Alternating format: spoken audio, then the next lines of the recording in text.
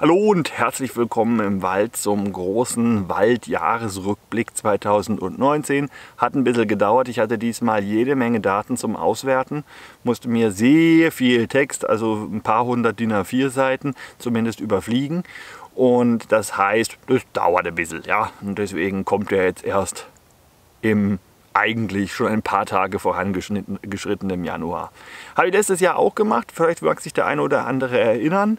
Ähm, also dem Jahresrückblick 2018 und grob, das habe ich jetzt auch schon mehrfach erzählt, aber ich sage es nochmal, weil hier passt jetzt gut hin, ähm, ist 2018 meine Quintessenz dessen, was ich erzählt habe, gewesen, okay, dieses Jahr gab es Schäden.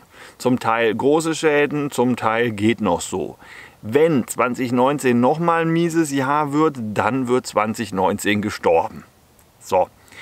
Und leider, leider, leider wurde 2019 nochmal ein schlechtes Jahr und es wurde gestorben. Das ist einerseits schön, weil ich recht hatte. Das ist aber in jeder anderen Hinsicht leider überhaupt nicht schön. Und ich hätte auch darauf verzichten können, recht zu haben, weil äh, es wurde je nach Region massiv gestorben. Mal so ein grober Überblick. Wer ist denn glimpflich davon gekommen? Relativ glimpflich Baden-Württemberg, vergleichsweise, ja manche Regionen sogar recht, äh, ziemlich, ziemlich glimpflich.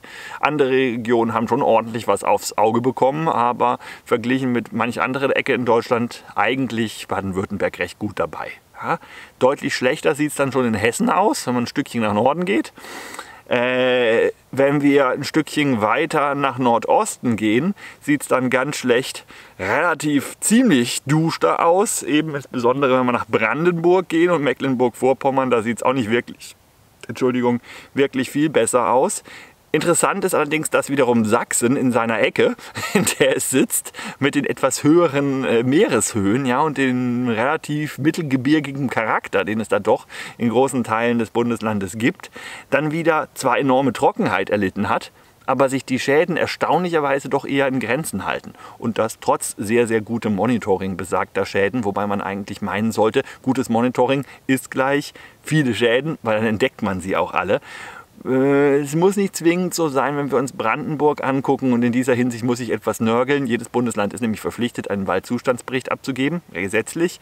Äh, ob der gut sein muss, äh, das steht da nicht im Gesetz drin. Und Brandenburg hat zum Beispiel den, ist auch nicht so, das hat auch jemand geschrieben, der sich auskennt, aber derjenige, der das schreiben konnte, konnte nur auf die Daten zurückgreifen, die da halt eben das Land ähm, bereit ist zu erheben, beziehungsweise erheben zu lassen. Und da muss man ganz klar sagen, äh, Brandenburg hat den miesesten Waldzustandsbericht, den ich jetzt gefunden habe. Wobei man auch sagen muss, von Thüringen habe ich gar keinen gefunden. Ja, äh, ums Verrecken bei allem Suchen kein Waldzustandsbericht von Thüringen zu kriegen. Vielleicht ist der noch nicht fertig, ich weiß es nicht. Ähm, ja, Brandenburg hat also sehr, sehr, sehr gelitten, äh, wenn man den Zahlen glauben darf, was man nur zu einem gewissen Teil darf. Aber nach dem, was man da gesehen hat, wenn man mal da in der Region unterwegs war, da wird da schon viel Wahres dran sein und auch eben die Wetterkarten. Ich habe ja auch den Wetterbericht verfolgt, letztes Jahr immer fleißig, ähm, stimmen damit überein, dass da wahrscheinlich wirklich in der Ecke Brandenburg und Mecklenburg-Vorpommern natürlich wirklich sehr, sehr, sehr, sehr, sehr trocken gewesen ist. Nochmal viel, viel, viel trockener als zum Beispiel bei uns in Baden-Württemberg. Hm, auch glimpflich davon gekommen, aus anderen Gründen, gar nicht, weil die klimatische Situation so viel besser gewesen wäre als woanders, sondern weil weil sie den passenden Wald für ja, eine, einen anpassungsfähigen Wald, das so müssen wir es nennen, haben, ist das Saarland, äh, was den Wald angeht, derzeit so ein bisschen die Insel der Glückseligen. ähm, weil man da schon seit langer Zeit äh, vieles, sehr, sehr vieles, alles will ich nicht sagen, das äh, ne, geht nicht, kann man ja nicht, kann man nicht behaupten. Ja, das auch schon allein schon aus politischen Gründen nicht. Aber sehr, sehr vieles richtig machen und das merkt man bei der trotzdem recht angespannten Klimasituation, bei den noch verhältnismäßig guten Werten der Bäume im Saarland. Aha. So, Äh, auch gut weggekommen ist Schleswig-Holstein. Das liegt daran, dass die aufgrund ihrer Lage zwischen zwei Meeren doch immer noch eine gewisse Luftfeuchtigkeit abbekommen, auch wenn es sehr, sehr trocken ist und gerade sehr warm ist. Dann verdunstet natürlich auch ein wenig mehr Nordsee bzw. Ostsee, das, was allerdings keine so große Rolle spielt, äh, eher untergeordnet bis gar keine. Aber ähm, nichtsdestotrotz kommt da dann schon noch ein bisschen was an. Ein bisschen was. Außerdem sind die Wälder da oben sowieso gewöhnt, dass trocken ist. Das führt natürlich auch dazu, dass man da nur Baumarten hingestellt hat, die trockenresistent sind. Und das wiederum ist selbstverständlich praktisch, wenn es dann noch trockener wird. Aber grob können wir sagen, die Situation ist so eine Linie des Schlimmerwerdens von Südwesten nach Nordosten. Ja, so ungefähr durchs Land. Und Selbstverständlich spielt für diese Tatsachen überhaupt keine Rolle, welches Bundesland wohin gehört, wer da jeweils an der Macht und sonst was ist und ob es jetzt nun Ost- oder Westdeutschland oder was weiß ich was ist, ist scheißegal, das ist dem Wetter Wurst, dem Klima Wurst und dem Zustand der Wälder nicht ganz Wurst. Da gibt es schon einen gewissen Einfluss, weil die BRD, die damalige, die Wälder ein bisschen anders bewirtschaftet hat als die damalige DDR und das spielt auch heute noch für die Situation im Wald schon eine gewisse Rolle. Völlig unabhängig von irgendwelcher Politik ist das halt einfach so, Tatsache. So, ähm, wie ich ja gesagt hatte, dieses Jahr wird gestorben. Und dieses Jahr ist tatsächlich gestorben worden. Und zum Einstieg hätte ich hier mal äh, eine Grafik. Ich habe hier diverse, diverse Papierchen mit Grafiken mitgebracht. Ähm, die kann man schon gesehen haben, wenn man aufmerksam meinen Kanal verfolgt. Das hier ist die Absterberate in Baden-Württemberg. So, und da es Leute gibt, die vielleicht mit solchen Grafiken nicht allzu viel anfangen können, will ich die diesmal noch ein bisschen genauer erläutern, als ich das letztes Mal getan habe. Das war vielleicht ein bisschen zu sehr fürs Fachpublikum. Ähm, und deshalb jetzt nochmal etwas ausführlich. Was wir hier sehen, ist in der Mitte die durchgehende relativ dicke schwarze Linie. Das ist äh, die durchschnittliche Absterberate im Mittel. Ja, also über die ganze Zeit, die man das untersucht hat. Und da stellen wir jetzt also fest, wenn unsere grüne Balken in dem jeweiligen Jahr, hier unten seht ihr die Jahre aufgetragen, quasi auf der, auf der schwarzen Linie ist, dann haben wir genau die durchschnittliche Absterberate. Die beträgt irgendwie sowas 0,4, irgendwie so. Ne? Das bedeutet, was ist eine Absterberate? Von 0,4 heißt das, wenn du 2017 hingehst, und Bäume markierst und 2018 nochmal hingehst und die gleichen Bäume nochmal untersuchst, dann sind von denen 0,4 Prozent abgestorben. Also von 1000 Bäumen vier Stück. Ja? So, ich hoffe, das ist anschaulich. Das ist die durchschnittliche Absterberate. Die hat jetzt im Lauf der Jahre, was steht hier, 2005 bis 2019 geschwankt. Gerade hier so im Bereich dieser Jahre hatten wir immer eine unterdurchschnittliche Absterberate. Da ging es vom Sterben her den Wäldern eigentlich recht gut. 2018 ist auch nichts Zusätzliches gestorben. Da war es ziemlich durchschnittlich und das hat mich auch nicht gewundert, weil ich ja genau gesagt habe, gestorben wird nächstes Jahr. So, und hier sehen wir jetzt wunderbar, wie sehr ich recht hatte, weil so sehr gestorben wie dieses Jahr wurde noch nie. Na?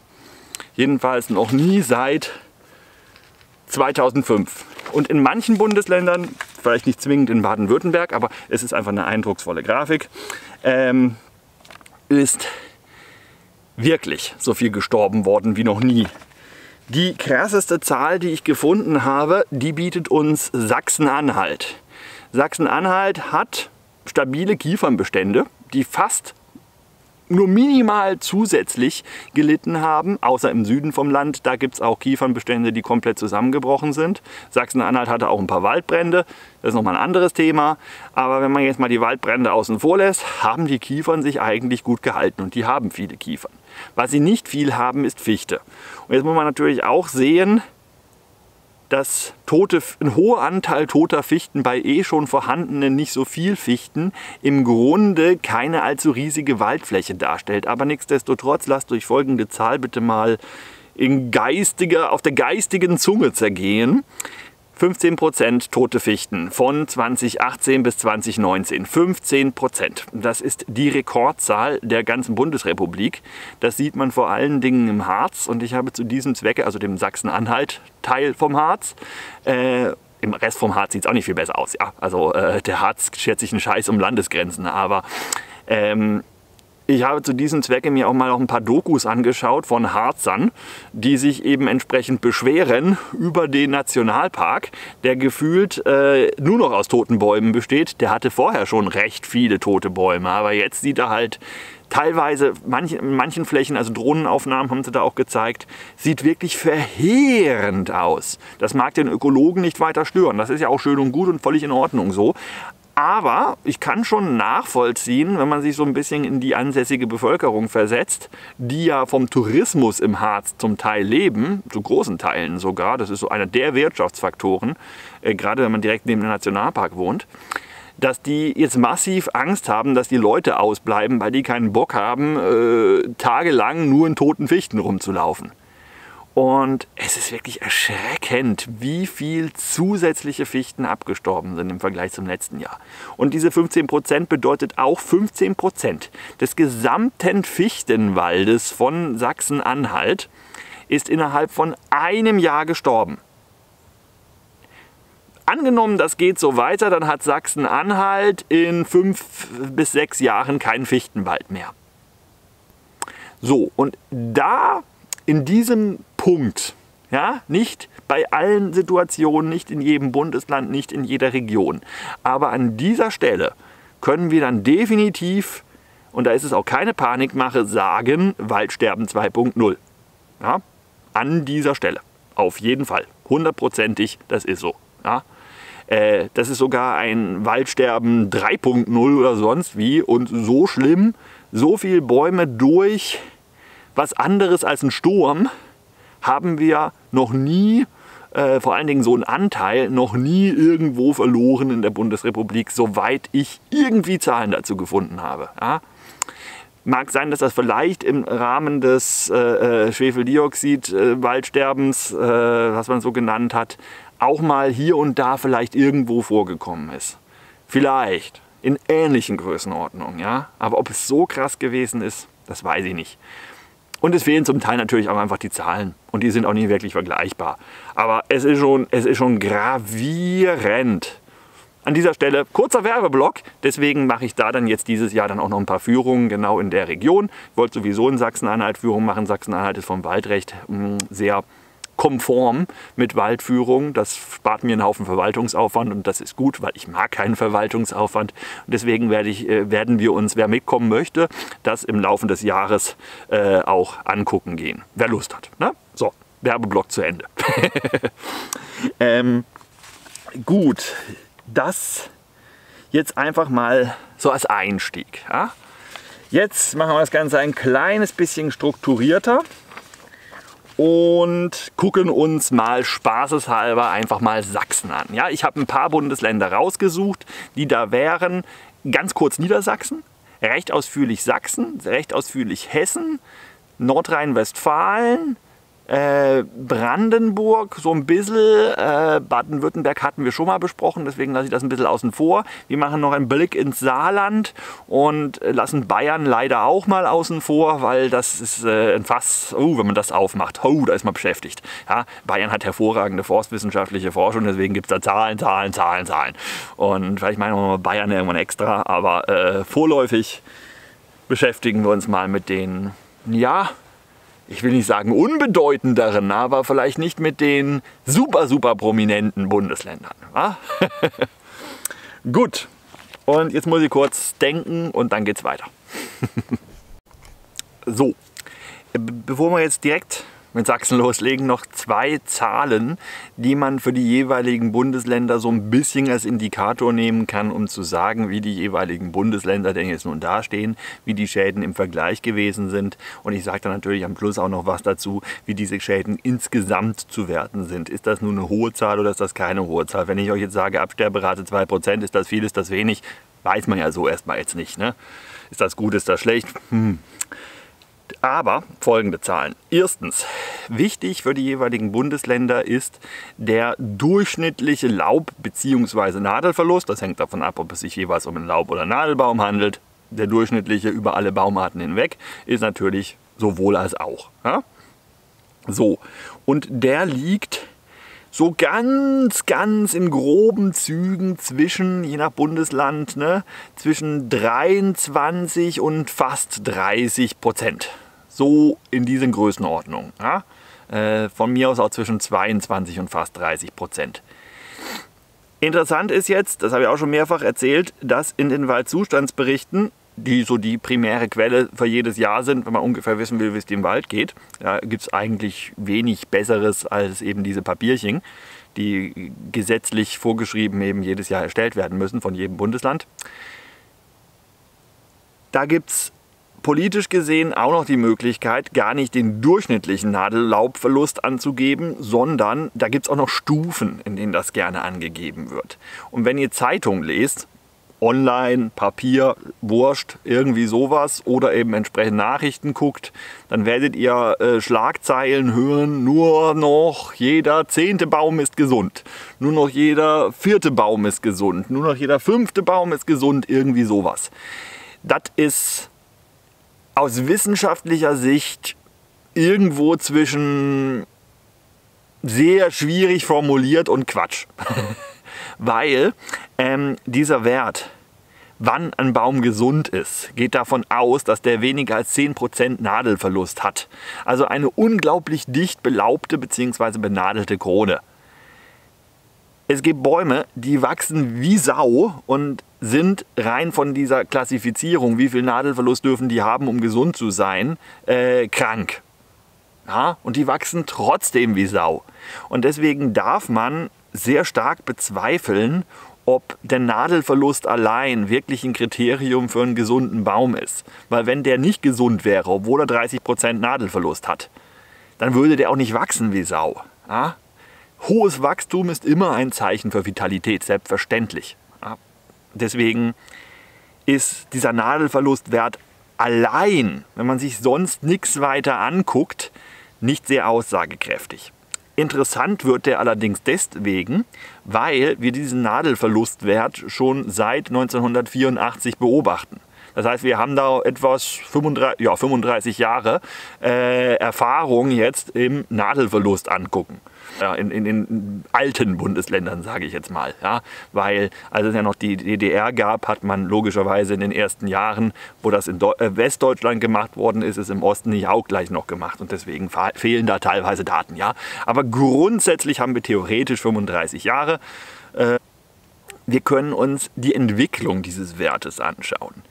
Und viel wichtiger und wirkungsvoller als dieser Wert an sich ist die Tatsache, dass der immer schlechter wird, netto, seit 1992 ungefähr. Nee, Entschuldigung, seit.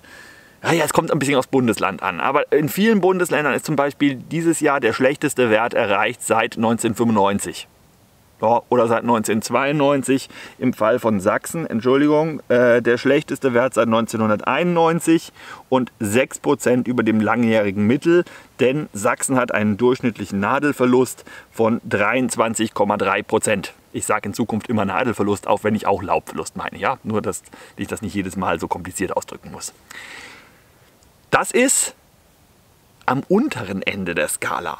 Wie ich ja eben noch erzählt hatte, sind wir so zwischen 23, 22 und fast 30 durchschnittlich. Ja, also so gesehen ist Sachsen eigentlich ganz gut weggekommen. Eigentlich. Aber trotzdem klagt man in Sachsen ganz außerordentlich. Und das ist auch völlig zu Recht, weil vieles sehr, sehr, sehr viel schlechter geworden ist.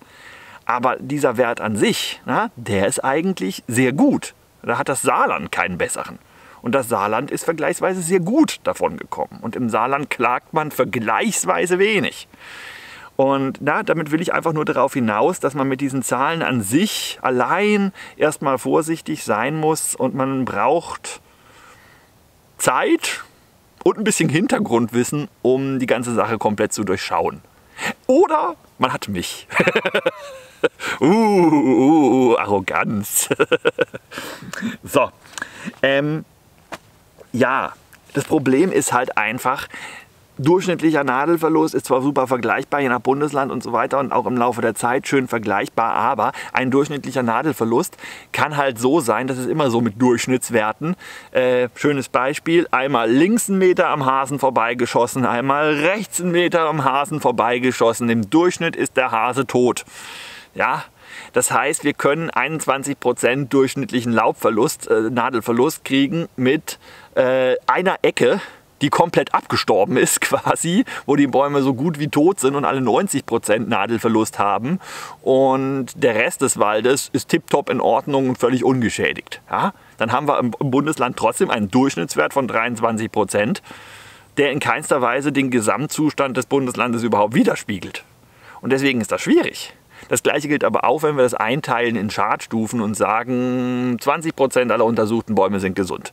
35 Prozent aller untersuchten Bäume haben leichte Schäden und äh, was ist noch übrig? 45 Prozent, glaube ich, äh, aller untersuchten Bäume haben starke Schäden. So, und das ist allein deswegen blöd. Dazu eine Grafik, weil hier sehen wir die Einteilung der Schadstufen. Ja? Grün, Gelb, Orange oder Rot, je nachdem, wie man will. Und der Kack ist jetzt folgender. Deswegen sind diese Berichte sehr kritisch zu betrachten.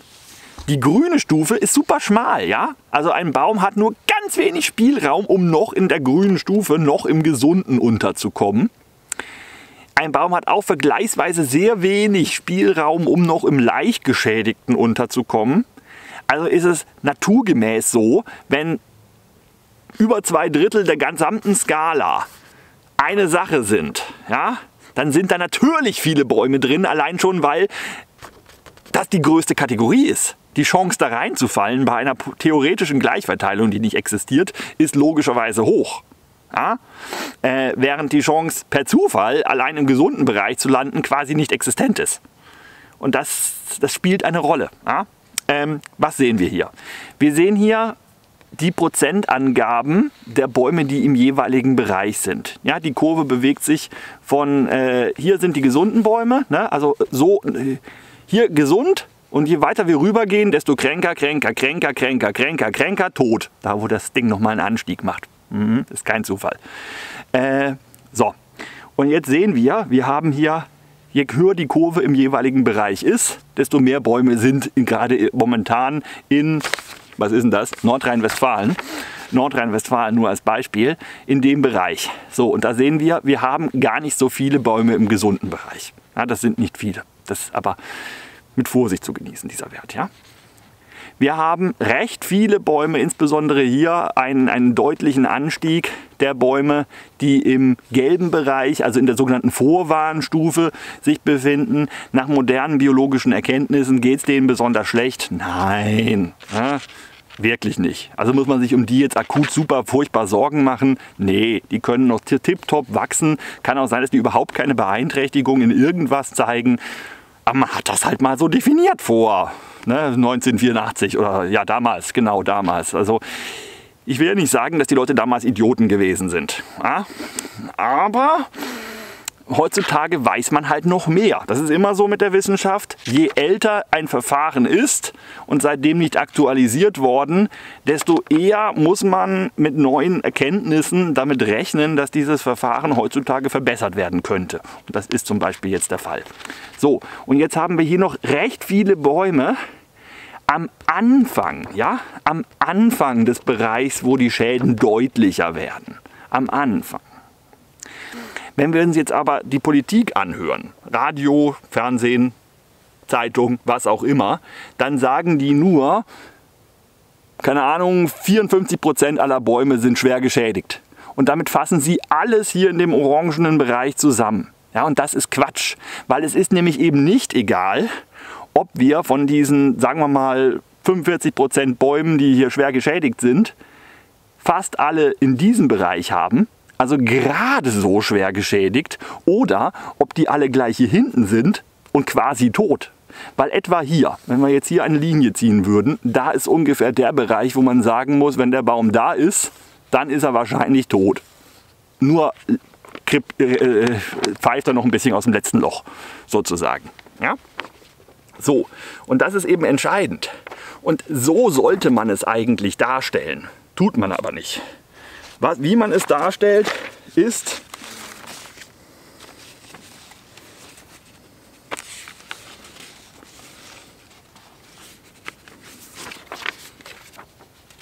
zum Beispiel diese blöde Grafik.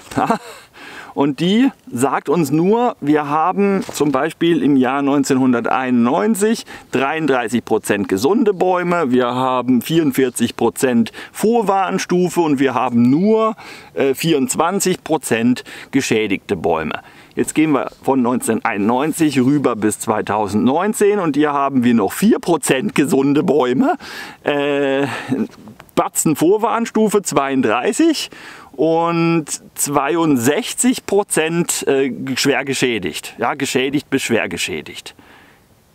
Außerdem, irgendwas scheint hier nicht so ganz zu stimmen. Ne? Das ist eine Brandenburger Statistik.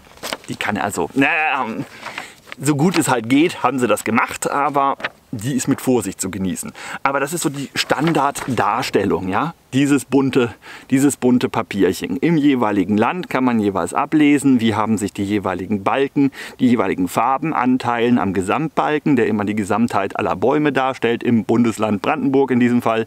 Ne? Wie haben sich die im Laufe der Zeit entwickelt. So, also haben wir jetzt gehört in den Nachrichten, dass wir im Land, egal wo, nur noch 10% gesunde Bäume haben, dann kann uns das nicht komplett am Hintern vorbeigehen, aber das ist nicht so wichtig. Haben wir gehört, wir haben 50% schwer äh, geschädigte Bäume, dann müssen wir halt differenzieren und uns äh, irgendwie versuchen, so eine Grafik rauszusuchen. Und das ist übrigens schwierig, weil die habe ich eigentlich fast nur in Nordrhein-Westfalen gefunden. Ich kann mich nicht erinnern, dass ein anderes Bundesland eine so schöne, so aussagekräftige Grafik auch gehabt hat, wo man genau sehen kann, dass der Durchschnittsbaum, ja, wobei das natürlich auch der durchschnittliche Nadelverlust aussagt. Dieser Wert von zum Beispiel in Sachsen 23 Prozent, 22,5, irgendwie sowas. Ne, der gibt uns halt an, hier sind die meisten Bäume in diesem Bereich. Und das ist längst nicht so dramatisch, wie sich 60 oder 70 Prozent geschädigte Bäume anhört.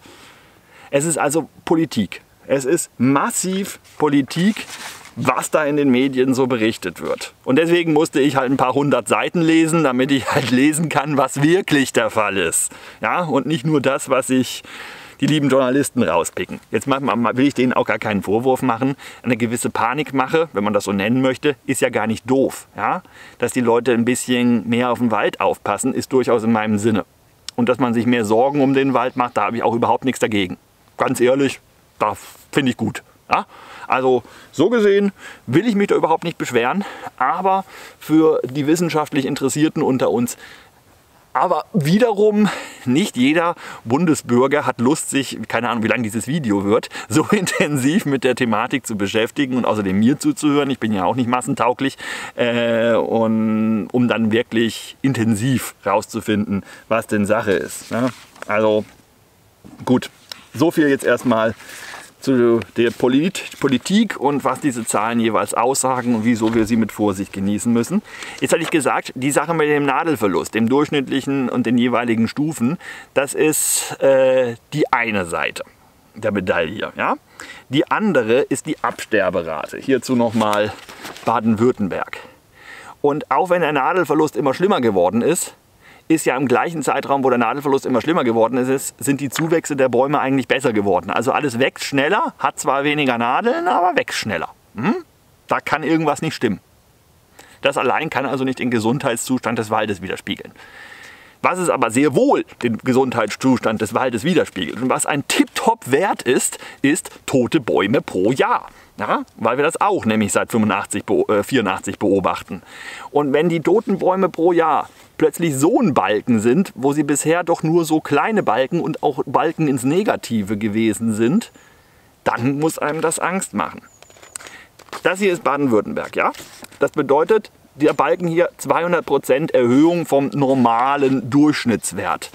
Der hat sich also äh, ja, plus 200 Prozent heißt, er liegt jetzt bei 1,2 statt bei 0,4, so irgendwie sowas um den Dreh. 1,2 Prozent aller Bäume Baden-Württembergs sind statistisch von 2018 auf 2019 gestorben. Und jetzt müsst ihr mal selber überlegen, ist das eine große Zahl? Ja, das ist verdammt nochmal eine große Zahl, weil das bedeutet, in, 90, nee, in 80 Jahren wäre der Wald weg, wenn das so weitergeht. Und Forstwirtschaft ist da gar nicht mit eingerechnet. Gestorben durch natürliche Ursache. Ja? Nicht entnommen wegen, wir haben Holz gebraucht. Das, das ist erschreckend. Das ist erschreckend während wiederum Werte um 0,4 Prozent. Das ist natürlich abzupuffern damit, dass natürlich auch neue Bäume nachwachsen. Ja? Und wenn ich jetzt sage, in 80 Jahren wäre der Wald weg, dann gilt das selbstverständlich auch nur dann, wenn wir davon ausgehen, dass keine neuen Bäume nachwachsen. Das tun sie ja. ja? Aber nichtsdestotrotz, kein Baum würde, also wenn wir jetzt einen Baum pflanzen, ist der durchschnittlich in 80 Jahren gestorben. Das heißt, es gibt gar keine alten Bäume mehr. Und das bedeutet auch, und das ist auch wiederum erschreckend. Äh, gleichzeitig, wenn wir uns so eine Grafik angucken wie diese hier, da sehen wir Schäden bei den jungen Bäumen hier unten einzuordnen. Ja?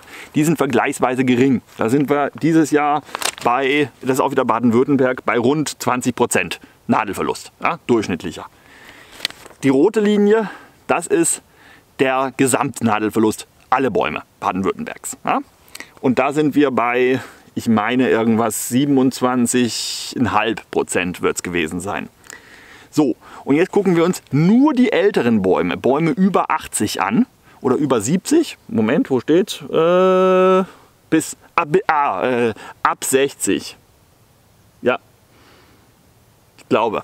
Äh, ab 60. Und da sehen wir noch schlimmer. Ja, also prozentual, statistisch, und das ist in jedem Bundesland so, haben die alten Bäume deutlich mehr gelitten als die jungen Bäume. Das ist dahingehend gut, dass, es junge, dass die jungen Bäume weiterhin weiterleben können. Ja? Und dass die jungen Bäume die Trockenheit schon irgendwo verstehen, überstehen.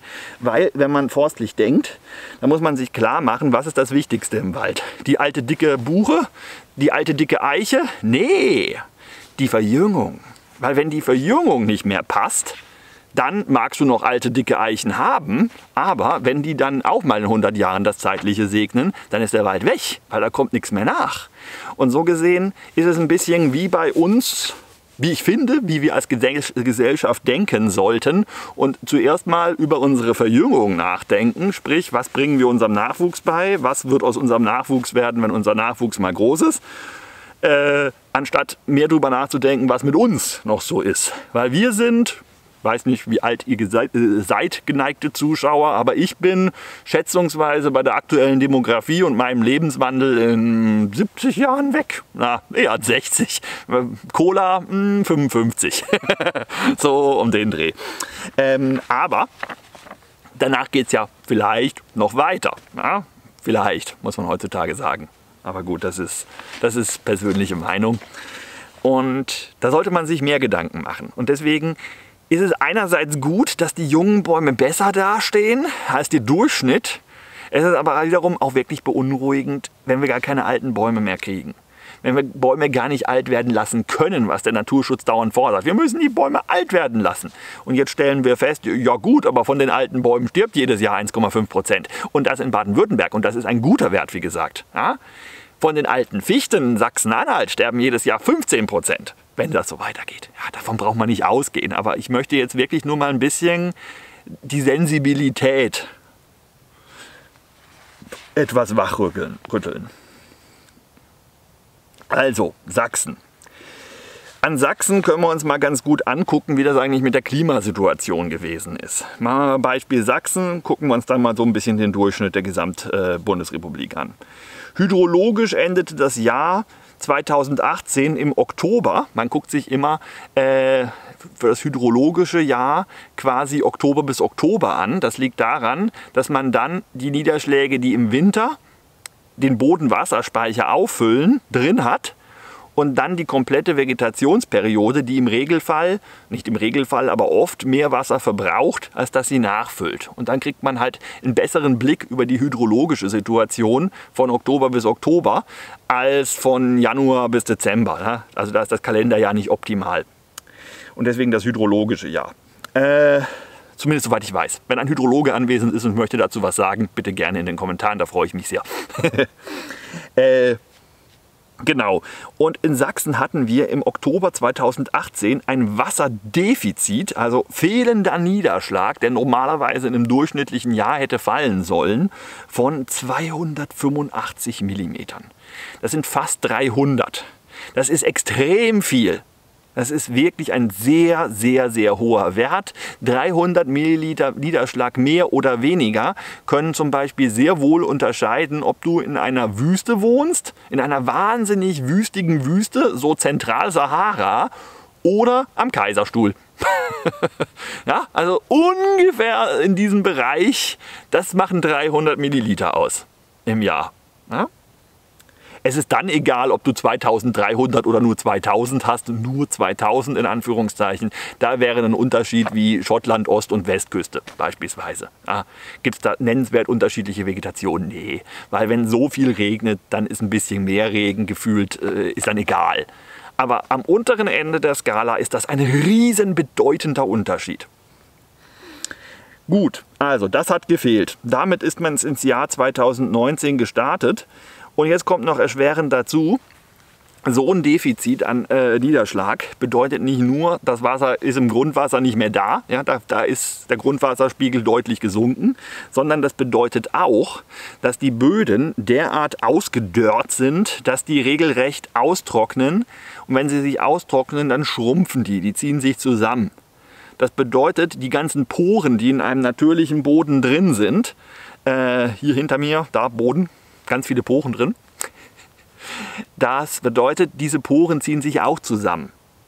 Und normalerweise, wenn es drauf regnet, fließt das Wasser in die Poren und fließt mit, durch die Poren langsam nach unten. Die Pflanzen können sich mit ihren Wurzeln noch was rausholen und ein Großteil vom Wasser landet je nach Intensität des Regens dann irgendwann im Grundwasser und füllt dieses wieder auf. So.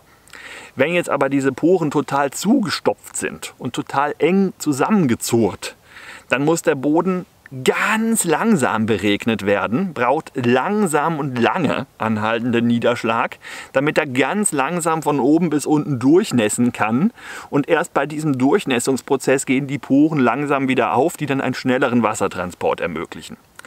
So, ist der Boden also vollkommen ausgetrocknet und jetzt regnet es, dann bringt das erstmal nichts, weil der kann ja kein Wasser aufnehmen. Und wenn der Regen, der jetzt kommt, nicht etwa ein langanhaltender Landregen von drei Wochen Pisswetter ist, wo es jeden Tag gefühlt 8, 9, 10 Stunden regnet, äh, schön verteilt, dann würde der Boden nach und nach eben entsprechend wieder aufquellen und könnte das Wasser spätestens ab einer Woche ungefähr, äh, Dauerregen, kann das dann auch wieder aufnehmen und dann geht das wieder runter und dann ist die Welt wieder in Ordnung. Aber das ist eben nicht passiert. Was passiert ist, ist, dass man im Juli, ähm, Juni, Juni, Juli, Moment. Äh, steht hier nicht. Juni oder Juli hatte man äh, Starkregenereignisse. Ja? Also es kam schon enorme Mengen Niederschlag runter. Man hätte mit diesem Niederschlag problemlos äh, erstmal jede Menge Bäume versorgen können. Der Wald wäre gerettet gewesen vom Niederschlagsfaktor her. Hätte sich super erholen können und es wäre nicht zu einem weiteren Dürrejahr gekommen, wenn nicht 2018 die Böden so ausgedorrt hätte. Übrigens ist im Winter, also Oktober bis Juni, äh, beziehungsweise Oktober bis, sagen wir mal, April, so in dem Dreh, um den Dreh rum auch wenig runtergekommen. Äh, ein bisschen was ist, ein bisschen was wurde auch aufgenommen, aber es war immer noch viel zu wenig, um diesen gesamt ausgetrockneten Zustand der Böden zu beheben. Und dann wurde es ja nochmal super trocken, eben ab Frühjahr bis eben zu den Starkregenereignissen. Und das bedeutet, von diesen Starkregenereignissen hat der bald quasi nichts gesehen. Nix bis hin zu 5 bis 10 Millimeter, also relativ lächerlich. Zum Vergleich allerdings trotzdem hat dann im Herbst schon eine ordentliche Niederschlagssituation stattgefunden. Und generell war 2019 nicht so heiß wie 2020, weshalb die Verdunstung nicht so hoch gewesen ist. Also die, Niederschlag die Wassersituation im Boden wird bestimmt durch im Prinzip das, was, kommt, was nachkommt und das, was rausgeht. Und es geht mehr raus, je heißer es ist, weil dann verdunstet das Wasser schneller, ist logisch. Ne? So viel Physik können wir alle. Äh, und 2019, das hydrologische Jahr 2019, endete noch mit 60 mm Wasserdefizit. Das ist immer noch viel zu viel, das ist immer noch erschreckend, aber verglichen mit den, äh, wo habe ich denn die Zahl, jetzt habe ich sie nicht mehr griffbereit, 285 mm, ähm, ist das doch eine erhebliche Verbesserung. So, und damit können wir jetzt zumindest mal, was Sachsen angeht, ich möchte auch ein bisschen prognostizieren, was ist, 20, was ist dieses Jahr 2020. Ähm, und da müssen wir von der Grundausgangssituation für Sachsen sagen, ist es viel besser geworden. Das ist ein Grund zur Hoffnung. Das bedeutet nicht zwingend, dass es nicht doch mal ein Scheißjahr gibt. Das kann schon noch trotzdem passieren. Aber die Ausgangssituation ist nicht ganz so beschissen. Und das ist wiederum was Gutes. Ja? Ähm, jo. Und außerdem, nur mal so als Beispiel für Sachsen, angrenzende äh, Regionen natürlich auch, äh, hat man noch zusätzlich das Problem gehabt, dass es im Winter reichlich Nassschnee und, gegeben hat. Und wenn es Nassschnee gibt, dann ist der Schnee schwer. Und wenn Schnee, schwerer Schnee sich insbesondere auf eine Fichte, eine Tanne, eine Kiefer, eine Douglasie, äh, solche Sachen draufsetzt, dann haben die ja logischerweise Nadeln, dann bleibt der da dran hängen und dann kracht der Ast gegebenenfalls runter wegen dem vielen schweren Schnee, der da drauf hängt. So, und dann gibt es abgebrochene Äste. Und die sind gut, für Schaderreger aller Art, die dann wunderbar durch die abgebrochenen Äste ins Innere des Baumes gelangen können und sich dann da vermehren können. Was dazu geführt hat, dass wir eben gerade in Sachsen, und damit können wir jetzt mal zum Thema Borkenkäfer kommen, massive Massenvermehrung von dem Vieh gehabt haben. Ja? Eigentlich braucht er gar keine abgebrochenen Äste, aber helfen tut es ihm trotzdem. Zumal ja auch noch Folgepathogene, also Pilze und andere Schaderreger das auch noch ausnutzen können. Und wenn die Bäume dann, insbesondere Fichten, geschwächt sind durch Schneebruch, durch Trockenheit, durch Borkenkäfer, dann kommen zusätzlich, egal wer, kann dann kommen. Ja, jeder Krankheitserreger, den es gibt, kann dann kommen und kann sich wunderbar an dieser Fichte gütlich tun, weil wehren tut die sich nicht mehr. Die hockt quasi gefühlt in Embryonalstellung in der Ecke und wartet darauf, dass vorbei ist. Wenn man das so ein bisschen verbildlichen möchte. Gut. Äh, Außerdem, wenn das ganze Zeug vom Schnee abgebrochen wird, dann liegt es ja am Boden und kann sich dann auch nicht mehr wehren. Ein Ast, der am Boden liegt, was dann auch wieder Brutmaterial für verschiedene Schädlinge darstellt. Und diese Situation hatten wir halt eben nicht nur in Sachsen, um jetzt mal wieder den gesamtdeutschen Blick aufzumachen, sondern quasi überall. Da war es nicht immer Nassschnee, aber dafür hatten wir reichlich Stürme. Und zwar, wo habe ich sie? Ich habe sie irgendwo aufgeschrieben. Generell, die zum Beispiel in Sachsen angekommen sind, die waren auch in vielen anderen Teilen von Deutschland unterwegs. Fabienne, man mag sich erinnern, dann den guten Bennett und den Eberhard. Das sind so die drei meiner Meinung nach, äh, meiner Recherche nach, äh, größten. Wenn ich einen vergessen habe, dann bitte gerne noch hinzuschreiben. Und die haben halt quasi überall hier mal einen Ast abgebrochen, da mal einen Ast abgebrochen. Und es waren drei. Und das ist schon genug. Das waren zwar keine solchen Jahrhundertstürme und krass vernichtenden Orkane wie zum Beispiel Vivian Wiebke, Lothar äh, und, und, und, und wie heißt das andere Ding? Fällt mir jetzt gerade nicht ein, aber ähm, vor allen Dingen zum Beispiel Lothar halt bei uns in der Region, was der angerichtet hat, das ist nicht mit dem zu vergleichen, was jetzt äh, Fabienne, Bennett und Eberhard angestellt haben, aber es ist trotzdem eine Hausnummer. Ja? Und das ist auch wieder ein gesamtdeutsches Problem. Wann immer jede Menge Holz am Boden rumliegt und vor sich hin verfällt und man kann es nicht rechtzeitig wegnehmen, dann freut sich darüber jedes beliebige Pathogen. Weil ein einzelner Ast, der wehrt sich gegen nichts und ist trotzdem nahrhaft. Gut, jetzt hatte ich ja gesagt, Niederschlagsdefizit, weniger, äh, weniger rein als äh, raus. Ja? Aber der springende Punkt ist, weshalb Sachsen, das hatte ich eingangs ja auch erwähnt, gar nicht mal so schlecht dasteht, eigentlich. Der springende Punkt ist, Sachsen ist das gewöhnt. Sachsen hat standardmäßig während der Vegetationsperiode, also schon seit wir Wetter aufzeichnen, ein Niederschlagsdefizit. Also es wird im Sommerhalbjahr immer mehr verbraut, als nachkommt. Das ist so eine Eigenheit von Sachsen. Und angewiesen ist man in Sachsen, die Natur in Sachsen, äh, das Land, der Boden, die Berge, eben darauf, dass im Winter das ganze Zeug nachregnet. Das, was im Sommer gefehlt hat, äh, verbraucht wurde, muss im Winter wieder aufgefüllt werden, damit man nach Möglichkeit in den nächsten Sommer mit einem gewissen Plus startet, dass sich dann wieder auf Minus ein bisschen abbauen kann. So, das ist also normal und das ist der springende Punkt. Denn wir haben, nur mal so im Vergleich, in Sachsen eine sehr leidende Fichte, ja, auch durch den Borkenkäfer. Der Schadholzanteil liegt bei 2,6 Millionen Festmeter. Das ist auch Rekordniveau, das ist extrem hoch und da muss man sich wirklich keine Illusionen machen, dass das nicht eine Katastrophe wäre. Das ist es. Aber wenn wir uns mal den Gesamtzustand der Belaubung der verbliebenen Fichten angucken, der verbliebenen Fichten, dann haben wir nur 21% durchschnittlichen Nadelverlust. Nur. Äh, in Baden-Württemberg sind das 3,2% mehr, 24,2. Und dabei ist Baden-Württemberg insgesamt ein Bundesland, das deutlich weniger Schadholzanfall hat, wo dem Wald es von den anderen Zahlen her besser zu gehen scheint. Aber wenn wir uns nur den Nadelverlust angucken, ist eigentlich Sachsen besser dran. Das ist interessant, weil daraus lässt sich möglicherweise schließen, das ist zumindest meine Vermutung, ich kann aber noch nicht beweisen, dass das stimmt und erzählt es niemandem, der auch Forstwissenschaftler ist, weil der wird euch dann sagen, was, der spekuliert doch bloß, der Typ da mit dem Hut. und das stimmt, ich spekuliere jetzt bloß, aber ich will es trotzdem tun, damit es einfach ein bisschen was ist, worüber man nachdenken kann im Laufe des Jahres. Achtet doch bitte gerne selber drauf, wenn ihr Lust habt. Ähm, Sachsen als Land, das Trockenheit gewöhnt ist, die Bäume sind Trockenheit gewöhnt. Es war schon immer trocken im Sommer. Und jetzt zeigen die, selbst die Fichten, auch wenn ein paar von denen durchaus gestorben sind, weil man halt manche wirklich wohin gestellt hat, wo sie überhaupt nicht hingehören, das ist meiner Meinung nach so mit ein bisschen der Faktor, der eine Rolle spielt. Aber die Fichten zeigen nur eine Schädigung von 21 Prozent. Ein eher Feuchtigkeit gewöhntes Bundesland wie unser Baden-Württemberg, wo durch den Schwarzwald relativ viel Wasser hängen bleibt, Wolke hängen bleibt und dann abregnet, ähm, deutlich höher. Ja? Weil ist es nicht gewöhnt, dass es trocken ist. Auch Baden-Württemberg hatte dieses Jahr so mehr oder weniger so ein kleines bisschen, erheblich weniger Wasser zumindest.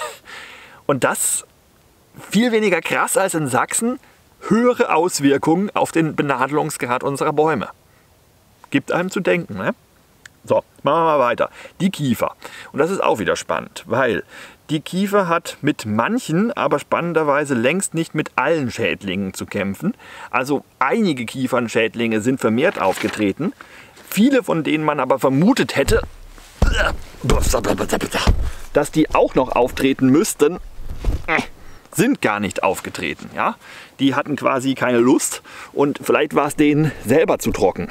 Denn, äh, ja, Kiefer ist sehr gut angepasst an Trockenheit. Das ist so mit von den halbwegs einheimischen Baumarten, Kiefer ist schon eine einheimische, aber die gehört halt oft auch nicht dahin, wo wir sie hinpflanzen, ist die mit am besten Trockenheit angepasst. Bisher hat man zumindest gedacht, bei gleichzeitig guter waldbaulicher, wirtschaftlicher Leistung. Und diese Gründe, weshalb man so viel Fichte, äh, Kiefer, gerade auch in Sachsen, in Brandenburg, in Sachsen-Anhalt und in Thüringen und in Mecklenburg-Vorpommern angepflanzt hat, äh, liegen eben genau daran. Das sind eher trockenere Regionen, eher trockenere Böden. Die Kiefer wächst da noch problem, äh, recht unproblematisch bisher. Und tatsächlich geben die Daten auch her, daran ändert sich grundsätzlich auch erstmal nichts. Also an der primären Kiefer Forstwirtschaft äh, in den östlichen Bundesländern, da muss man vielleicht ein bisschen auch noch nach Alternativen suchen. Das sowieso, ja, Mindest, mindestens ein bisschen. Aber man braucht sich auch nicht Sorgen machen, dass die Fichtenforstwirtschaft in dieser Region jetzt völlig zusammenbricht. Äh, Kiefer, Kiefer verflucht nochmal, nicht Fichte. Heieieiei. Denn äh, im Vergleich zur Fichte hat die Kiefer fast gar keine Schäden, wenn man so einen Direktvergleich sich anguckt. Ähm, und Kiefer gehört da fast schon hin. Die ist da wirklich gut geeignet. Schauen wir uns im Vergleich mal die Kiefern bei uns im Oberrheingraben in Baden-Württemberg an. Da haben unsere Kiefern einen durchschnittlichen Nadelverlust von äh, sage und schreibe 31,4 Prozent und die Kiefern in Sachsen durchschnittlich, und es gibt Regionen, da gehen, sehen sie noch viel schlechter aus als im Durchschnitt. Also der Durchschnitt wird noch mal ein bisschen runtergedrückt, äh, hochgedrückt durch eine kleine Region mit wirklich schweren Kiefernschäden. Aber äh, Nadelverlust nur 22 Prozent. Das sind fast 10 Prozent Unterschied. Ja? Das ist 50 Prozent schlechter in Baden-Württemberg. insgesamt. Ja? Also relativ. Äh, und da muss man sich schon Sorgen machen. Und das, der Unterschied ist auch dahingehend deutlich, dass die Kiefern im Oberrheingraben so aussehen, als hätten die keine Zukunft mehr, während die Kiefern in Sachsen im Durchschnitt so aussehen, als ja, okay, sie sind ein bisschen gelitten, aber weiter wie bisher. Und das ist schon gravierend. Ja? Gucken wir uns spaßeshalber mal noch die Eiche an. Die Eiche hat im Vergleich zu 2018 keine weitere Verschlechterung erlitten. In Sachsen, in Baden-Württemberg sehr wohl. Und das ist auch wieder ein Zeichen, Eiche eher trockenheitsresistent, eher trockenheitsangepasst. Wenn sie wo steht, wo sie schon immer trockene Situationen hatte und Zeit hatte, sich entsprechend darauf einzustellen, dann kommt sie klar vergleichsweise.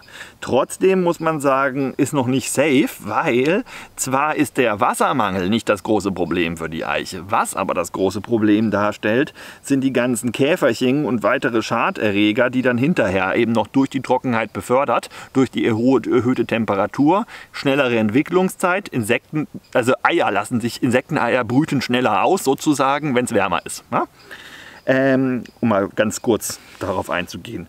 Eichenprozessionsspinner zum Beispiel äh, und alle möglichen anderen Eichenschädlinge, das hat noch massiv zugenommen.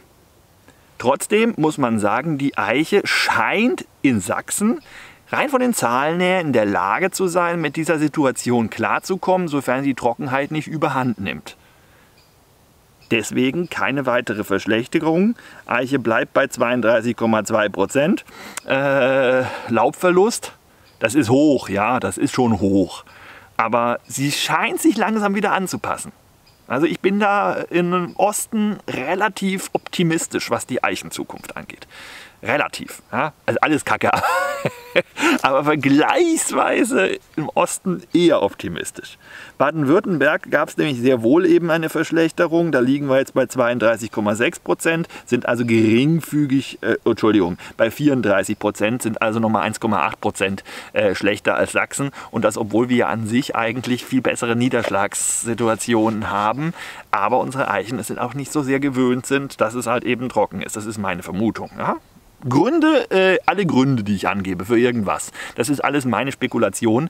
Ähm, teilweise natürlich auch gestützt durch entsprechende Fachartikel von Leuten, die Ähnliches vermuten. Ja, ich bin da nicht alleine mit meinen Spekulationen, aber letztendlich bewiesen ist das noch nicht. Ja, also das ist wichtig, dass ihr wisst, äh, Zahlen sind Fakten, Vermutungen für Gründe sind Vermutungen. Ja? Gut. Gucken wir uns noch die Buche an. Die hat 25% Laubverlust. Das klingt erstmal schlimm, weil wir es eigentlich gewöhnt sind vom Forst, dass die Buche, ja, das hatte ich auch schon letztes Jahr erzählt, äh, beziehungsweise letztes Jahr noch nicht so intensiv, das muss ich, hatte ich dieses Jahr, ja doch, 2019 hatte ich ein Video gemacht, wo ich gemeint habe, dass die Buche doch massiv leidet es aber noch nicht an der Zeit ist, sich um die Buche massiv Sorgen zu machen und zu glauben, dass die Buchenzeit damit abgelaufen ist. Und auch die Werte, die wir jetzt inzwischen haben, zeigen teils, teils. Teils leidet die Buche sehr, aber hierzu habe ich eine extra Grafik. Wo ist sie? Äh, ich suche, ich suche, ich suche, ich suche, ich suche weiter.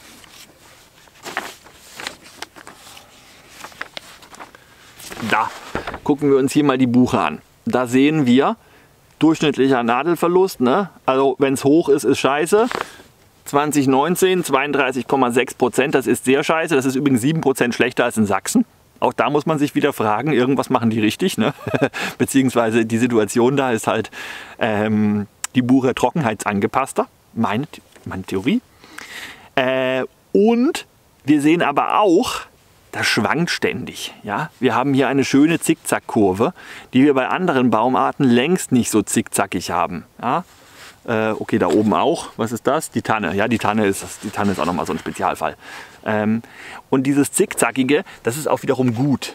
Das gibt auch wieder Grund zur Hoffnung. Denn das bedeutet, die Buche verträgt kurzzeitig massive Schwankungen die, kann sie, äh, die ist eine Baumart, bei der man sagt, die ist nicht resistent, die ist resilient. Das bedeutet, Sie leidet zwar im Fall einer Katastrophe sehr wohl und zeigt starke Reaktionen negativer Art, sie ist aber auch in der Lage, wenn die Katastrophe vorbei ist, sich schnell, schnell wieder zu erholen. Und das sehen wir generell in allen Bundesländern, wenn wir uns die Buchen angucken, auch wenn der Buchenzustand dieses Jahr so schlecht ist wie noch nie. Das zieht sich leider auch durch die komplette Bundesrepublik. Wir haben einen Rekord-Laubverlust bei Buche. gar nicht schön. Auch ein Grund zur Sorge. Ja? Sorge, nicht Panik. Sorge. Ich lese noch ein bisschen meine Notizen und dann geht's weiter. Gut, gehen wir mal nach Brandenburg. Äh, Brandenburg ist ja geografisch ein viel flacheres Land als Sachsen. Es ist nicht besonders weit weg, aber viel flacher. Das bedeutet auch generell, je flacher, desto trocken. Es sei denn, direkt an der Küste. Ja? Weil wenn keine Berge da sind, die Wolken festhalten, dann regnet es auch nicht ab. Grob, ganz grob.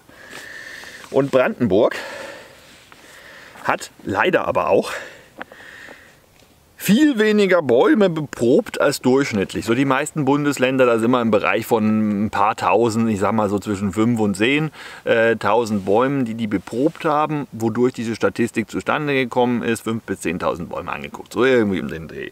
Bei Brandenburg sind das nur ein Sechstel ungefähr der Probebäume, wie sie zum Beispiel in Sachsen hatten. Damit sind alle Daten, die wir zu Brandenburg haben, viel weniger realistisch. Ja? Je, bei so Statistiken, je größer die Gruppe ist, die man sich anguckt und sieht bei 10.000 Bäumen das gleiche Ergebnis, dann ist irgendwann sehr wahrscheinlich, dass das nicht mal 10.000 Mal ein Zufall gewesen ist, sondern einfach äh, auf einen tatsächlich existierenden Sachverhalt hinweist. Wenn man sich nur drei Bäume gefühlt anguckt und sieht jedes Mal das gleiche, dann ist die Chance, dass das ein Zufall ist, ziemlich hoch. Insbesondere wenn die direkt nebeneinander stehen oder dass es irgendeinen kleinräumigen Grund für die Beobachtung geben kann ja, und das nicht zwingend am Klima liegen muss. Jetzt haben sie natürlich schon mehr als drei Bäume angeguckt, aber doch viel, viel, viel weniger als in Sachsen und Brandenburg hat den Waldzustandsbericht man kann ja auch die Daten von den vergangenen Jahren nicht nochmal wiederherstellen oder sonst wie, bisschen verfuscht. Und deswegen müssen wir da vorsichtig sein. Trotzdem kann man in Brandenburg ein bisschen was ablesen was uns weiterhilft. Aber alle Zahlen mit großer Vorsicht genießen bitte. Also, bei den Laubbäumen haben wir 33% Laubverlust, bei den Nadelbäumen 23% Nadelverlust. Das heißt, Nadelbäume sind 50% besser weggekommen als Laubbäume. Das ist dahingehend spannend, weil es wirklich Zahlen sind, die im Gegenteil, die das dem widersprechen, was wir ja eigentlich bisher immer gesagt haben und was in Bundesländern wie dem Saarland auch dazu geführt hat, dass das Saarland gut dasteht, nämlich Laubwald stabiler als Nadelwald. In Brandenburg genau andersrum. Ist das jetzt eine Brandenburger Besonderheit? Schon, ne? weil welche Nadelbäume sind denn die, die in Brandenburg rumstehen? Kiefer. Welche noch? Kiefer. Und Kiefer. Und Kiefer ist nun mal sehr trockenheitsresistent. Und welche Laubbäume stehen da rum? Fast alle. Ja, in gewissen Anteilen. Auch die, die eben entsprechend empfindlich sind. Auch die Buche, die in Brandenburg bei den trockenen Böden am Rande ihres natürlichen Verbreitungsgebiets rumsteht. Ja? Also üppige Buchenwälder. So richtig vital die wären auch naturgemäß in Brandenburg gar nicht zu erwarten. Jedenfalls nicht, auf, äh, nicht nur kleinräumig vielleicht mal, aber nicht auf großer Fläche.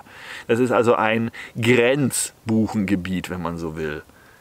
Selbst die gute Birke, die ja eigentlich schon recht resistent gegen äh, Trockenheit ist, ja, kommt darauf an, wo sie steht und unter welchen Bedingungen, aber selbst die hat massive Schäden erlitten. Und wenn die Birke schon massive Schaden, äh, Schäden erleidet, dann ist die nicht ausgesprochen trockenheitsresistente Buche logischerweise auch stark geschädigt. Ja? Also behalten wir das jetzt mal im Hinterkopf. Trotzdem sind beides, also sowohl der 23% Blattverlust bei den Laubbäumen als auch äh, 33%, Entschuldigung, als auch die 23% Nadelverlust bei den Nadelbäumen, beides sind die mit Abstand höchsten Werte, die immer gemessen, seit jeher gemessen worden sind. Das bedeutet auch beim Laubholz, sage und schreibe, angeblich 13% schlimmer als im langjährigen Mittel. Das würde heißen, dass das Laubholz in Brandenburg gigantisch geschädigt worden ist. Jetzt nur dieses eine Jahr. Ja? Die Schäden 2018 zwar entstanden sind, 2019 noch verschärft worden und wir haben eine Verschlechterung um 13 Prozent weniger durchschnittliche Laubmasse auf dem Baum. Und das wäre, wenn das dann stimmt, mit Vorsicht zu genießen, aber das wäre, das wäre katastrophal. Das würde bedeuten, dass die Laubbäume, die momentan in Brandenburg so rumstehen, im Regelfall, vielleicht mit Ausnahme der Eiche, da nichts mehr zu suchen haben in Zukunft. Ja, das wäre also ein deutliches Indiz für Brandenburg muss reines Kiefernland mit ein bisschen Eiche bleiben oder wir finden ein paar, vielleicht wisst ihr, was ich meine, wenn ich sage Zukunftsbaumarten, äh, die irgendwelche besonderen Anpassungen besitzen, um Brandenburgs Baumportfolio noch zu erweitern. Aber momentan, jetzt rein von diesen Zahlen her, wenn die stimmen sollten, dann läuft das darauf hinaus. Ja? Weil das ist ein derartig krasser Schlag, ohne dass man sagen kann, was, welche großartige Superkatastrophe zusätzlich zur Trockenheit noch über Brandenburg hereingebrochen ist. Also ein bisschen was gibt es, aber ähm, also schon massiv, massiv, massiv. Insbesondere eben bei der Buche. Aber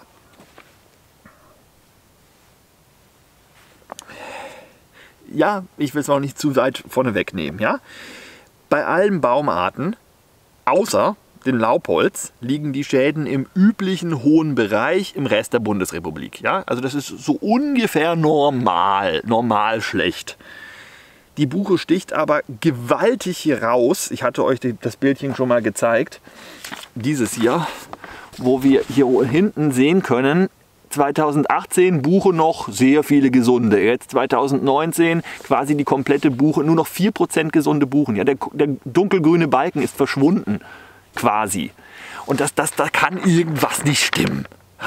So ein massiver Unterschied von einem Jahr aufs andere.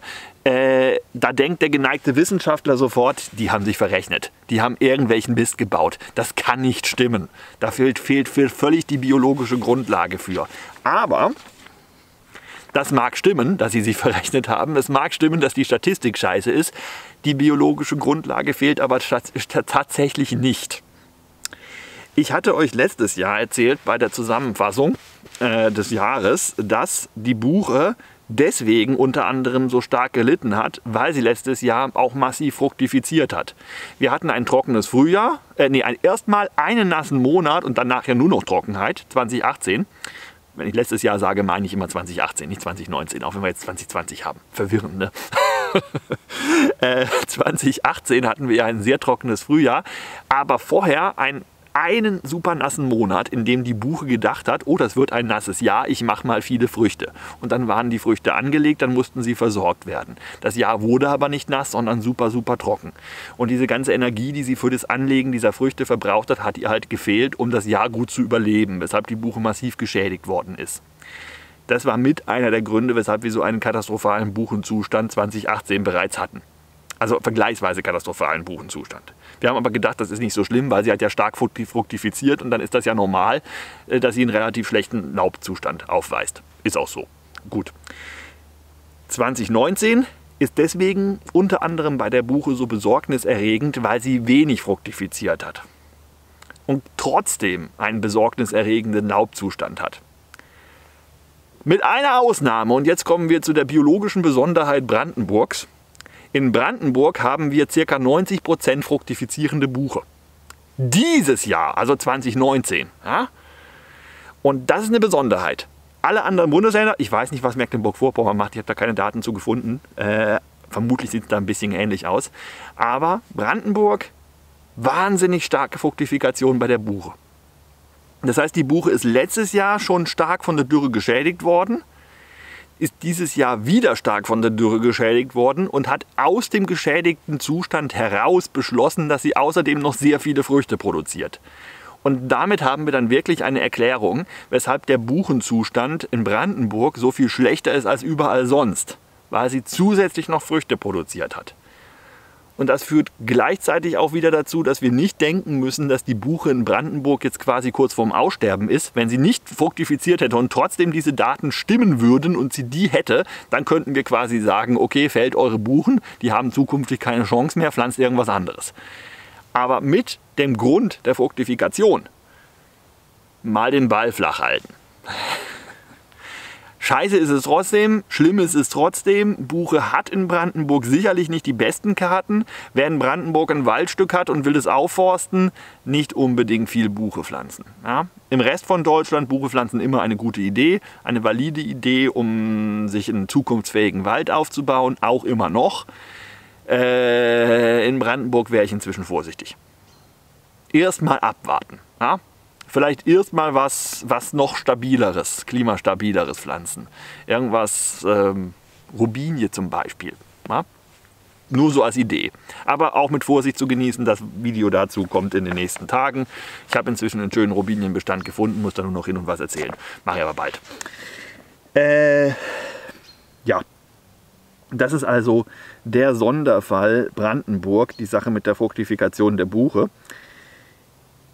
Jetzt habe ich mir hier folgendes aufgeschrieben. Ich lese einfach mal vor. Es bleibt abzuwarten, ob die Buche notfruktifiziert hat oder es sich um die übliche Laubabnahme bei Vollmast handelt. Bezeichnend ist auch, dass die Mortalitätsrate der Buche auf einem sehr geringen Niveau geblieben ist. Also vermutlich im Fazit schlechte Statistik, also die Datenerhebung blöd. Äh, die Fruktifikationssituation schuld an der schlechten Belaubungssituation der Buche. Aber das extrem schlechte Abschneiden der Buche kann nicht so schlimm sein, weil die Nachbarbundesländer viel, viel, viel besser sind. Gleichzeitig, wenn wir in Baden-Württemberg hohe Schäden an der Buche haben, haben wir im Maß der Zunahme der Schäden an der Buche gleichzeitig auch eine Zunahme der Mortalität der Buche. Wir haben also nicht nur geschädigte, sondern auch tote Bäume. Und das haben wir in Brandenburg witzigerweise nicht. Wir haben zwar geschädigte Bäume, wir haben aber kaum Tote.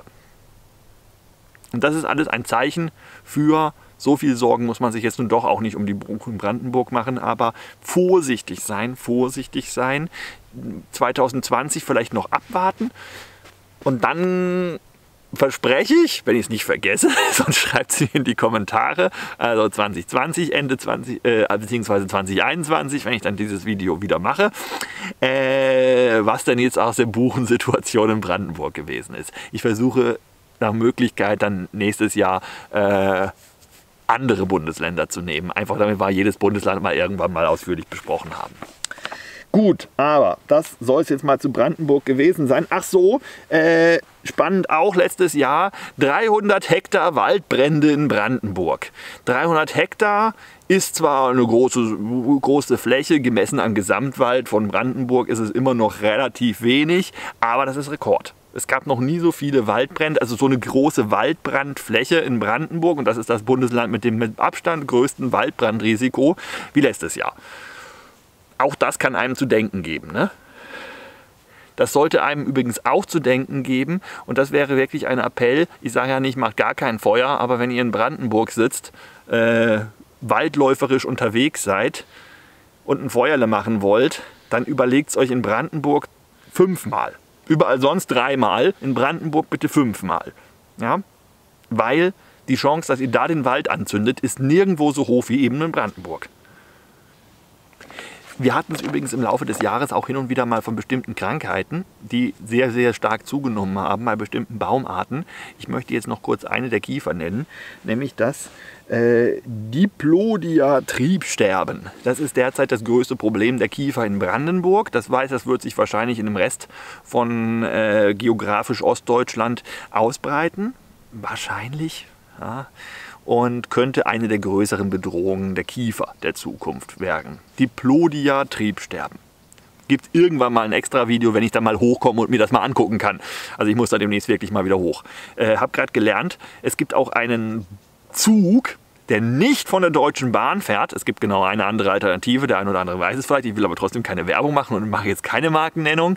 Äh, der für ganz wenig Geld von fast mir bis Berlin fährt und von Berlin nach Brandenburg ist bekanntlich auch nicht allzu weit. Deswegen hoffe ich, äh, dass ich spätestens im... Schön wäre es ja eigentlich im Herbst, wenn die nächsten Waldbrände durch sind. Dann kann ich mir eine frische Waldbrandfläche suchen. Äh, vielleicht im Herbst mal dahin komme und dann alles zu Brandenburg erzähle, was mir irgendwie einfällt. Gut. Schnitt. Vielleicht noch zwei Ergänzungen, weil ich mir schon das Zeug ausgedruckt habe. Das Papier soll nicht umsonst gestorben sein. Äh, das hier ist der Niederschlagskalender von Brandenburg. Zwei Orte, ja. Also hier ist einmal im Flachland, einmal im Hügelland. Und ihr müsst gar nicht groß erkennen müssen können, was da drauf ist, aber jedes kleine farbige Pünktchen, äh, recht quadrat, ähm, ist ein Tag im Jahre 2019. Und zwar von, beziehungsweise 20 ja, Februar bis Juli. Und vor, nee, August 18 bis Juli 2019. Jetzt stimmt's. Ja, also hier August 18, da Juli 2019, hier wieder August 18, da Juli 2019. So, und da kann man jetzt mal sehen, was uns auch wiederum erklärt, weshalb Sachsen so viel besser dran ist. Sachsen ist deutlich hügeliger. Flachland, rot, rot, rot, rot, rot, rot, rot. Hier ein ganz kleines bisschen grün. Rot, rot, rot, rot, rot, rot, rot, rot. Ein bisschen grün. Ja. Im Hügelland recht viel grün, hier nochmal ordentlich grün und da auch nochmal ordentlich grün. Also im Hügelland haben wir eine massive Entspannung gehabt. Was sich wieder mit dem deckt, was ich schon erwähnt hatte. Flachland, trocken, äh. Hügelland, trocken, immer noch, äh, aber mehr so ein. Ne? nicht ein äh. ähm, ich hoffe, das war anschaulich. Gut, äh, zweite Grafik, die ich zur Brandenburg euch noch unbedingt unter die Nase halten wollte. Wo ist sie denn? Hm, da ist sie nicht. Da ist sie. Äh, ist die hier unten, die ist etwas klein geraten, aber ich muss doch Papier sparen ne? und vor allen Dingen Druckerfarbe. Aber jetzt kann man sehen. Das hier ist der, äh, die Niederschlagssituation in Brandenburg. Äh, einmal im Flachland, ja, und einmal im Bergland. Und wir haben jetzt in diesem Fall, das jetzt gar nichts mit der Flachland-Bergland-Situation zu tun. Hier ist im äh, 2018, ja, also, dass der blaue Balken unterhalb von der Mittellinie ist. Bedeutet, wir haben ein riesen Wasserdefizit gehabt. Aber da der blaue Balken hier zwar in 2019 immer noch relativ weit unter der Mittellinie ist, war es zwar schlecht, aber nicht so ein massiver Dürreblock wie 2018. Ja? Und wir haben zumindest an diesem Ort ein, und das haben wir auch in Sachsen gehabt, und zwar flächendeckend, einen massiven Niederschlag in den Sommermonaten zwischendrin einen richtigen, riesigen Gewitterflutsituation. Aber damit konnte der Boden nichts anfangen. Ich hatte es bei Sachsen erzählt, ähm, weil eben zu viel Wasser auf ausgedörrten Boden nicht aufgenommen wird. Das gibt einen Oberflächenabfluss. Das heißt, das schwemmt alles davon, geht in den nächsten Fluss, geht in die Ostsee und ist weg. Hat man nichts von als Ökosystem. Ja? Und während wir auf dem anderen Fleck in Brandenburg Durchschnittsklima der gesamten Bundesrepublik hatten, außer ähm, der Unterschied, den kommt gleich, der Mai. Der Mai ist im Westen besser gewesen als im Osten. Im Osten hatten wir, wenn wir nicht dieses Starkregenereignis hatten, hatten wir mehr oder weniger durchgehend Dürre. Ja, kaum eine Erholung in den Sommermonaten durchgehend. Im Winter gibt es ein bisschen Wasser, das nachgekommen ist, sieht man hier, und sonst durchgehend Dürre. Ich weiß, es ist eine kleine Grafik. Hier nochmal so groß es geht. Sonst drückt gerne Pause, wenn ihr euch das in Ruhe angucken wollt. Zoomt noch ein bisschen ran. Äh, guckt in Vollbild. Und das ist die Situation Brandenburg. Zum Vergleich, das ist auch ein großes Ding, Situation Baden-Württemberg. Hier haben wir hier haben wir jetzt folgendes. Ähm, man kann hier schön sehen, den extrem nassen Früh-Früh-Frühling von 2018, der für die viele, viele Buchenfruktifikation zuständig war. Ja? Also viel, viel nasser als normal wäre. Normal ist, wie gesagt, gar kein Ausschlag. Normal ist dieser Monat hier. Welcher ist es? Es ist der Mai. Der Mai ist normal, der ist weder trocken noch nass 2018. Ja? Temperatur war dann auch noch mal sehr kalt. Am Anfang von 2018 ist dann hochgeschossen und gleichbleibend immer sehr, sehr hoch geblieben, während wir große Wasserverluste hatten. Wir hatten lediglich im Mai keinen besonderen Wasserverlust, aber auch nichts, was dazugekommen ist. So, und jetzt ähm, hatten wir 2019 die Situation in Westdeutschland. Also das zieht sich ja, Niedersachsen weniger stark, aber äh, das hatten wir in Hessen, in Saarland, in Rheinland-Pfalz, in Baden-Württemberg, äh, in Nordrhein-Westfalen noch schon leicht, ganz leicht äh, und kommt auf die Region an. Aber seht ihr diesen einen blauen Ausschlag? Das ist die Regenerierungsphase. Ja? Wir hatten also zwar durchschnittlich viele Monate mit weniger Niederschlag als normal wäre, 2019, hier das 2019, wir hatten aber einen Monat zwischendrin, der ein bisschen was gebracht hat. Und ich erinnere mich noch dran, dass es der, ja, wieder der Mai gewesen ist. Und ich hatte noch gedacht, dieser Mai rettet uns, im, rettet dem Wald den Arsch. Ja? Um es mal drastisch zu formulieren. Im Mai hat es gut geregnet. Nicht toll, aber gut. Und zwar auch langfristig. Wasser, das vom Waldboden aufgenommen werden konnte. Und das hat uns hier in Westdeutschland, Südwestdeutschland, sage ich jetzt einfach mal spaßeshalber, äh, in Teilen Bayerns auch, glaube ich. Ja, Bayern machen wir 20, 2021, konzentrieren wir uns auf Bayern, versprochen. Ähm, das hat uns wirklich so ein bisschen gerettet. Die Situation wäre hier eine ganz andere, wenn wir diese Erholung im Mai nicht gehabt hätten. Und das gilt für den Rest von Südwestdeutschland, wie gesagt, auch. Und das hatte der Osten nicht. Und das ist somit der springende Punkt, weshalb wir im Osten größere Dürrewerte haben, aber nicht zwingend viel schlimmere Waldsituationen, siehe Sachsen. Aber manchmal doch, siehe Brandenburg. Ihr seht, es ist kompliziert. Ja? Darauf wollte ich grob auch schon auch nur hinaus, dass es halt eben kompliziert ist. So, wer noch dabei ist, wir gehen jetzt nach Nordrhein-Westfalen, machen wir gleich. Aber bevor wir nach Nordrhein-Westfalen gehen, gehen wir noch ganz kurz nach Niedersachsen. Ich habe Niedersachsen nur minimal drin.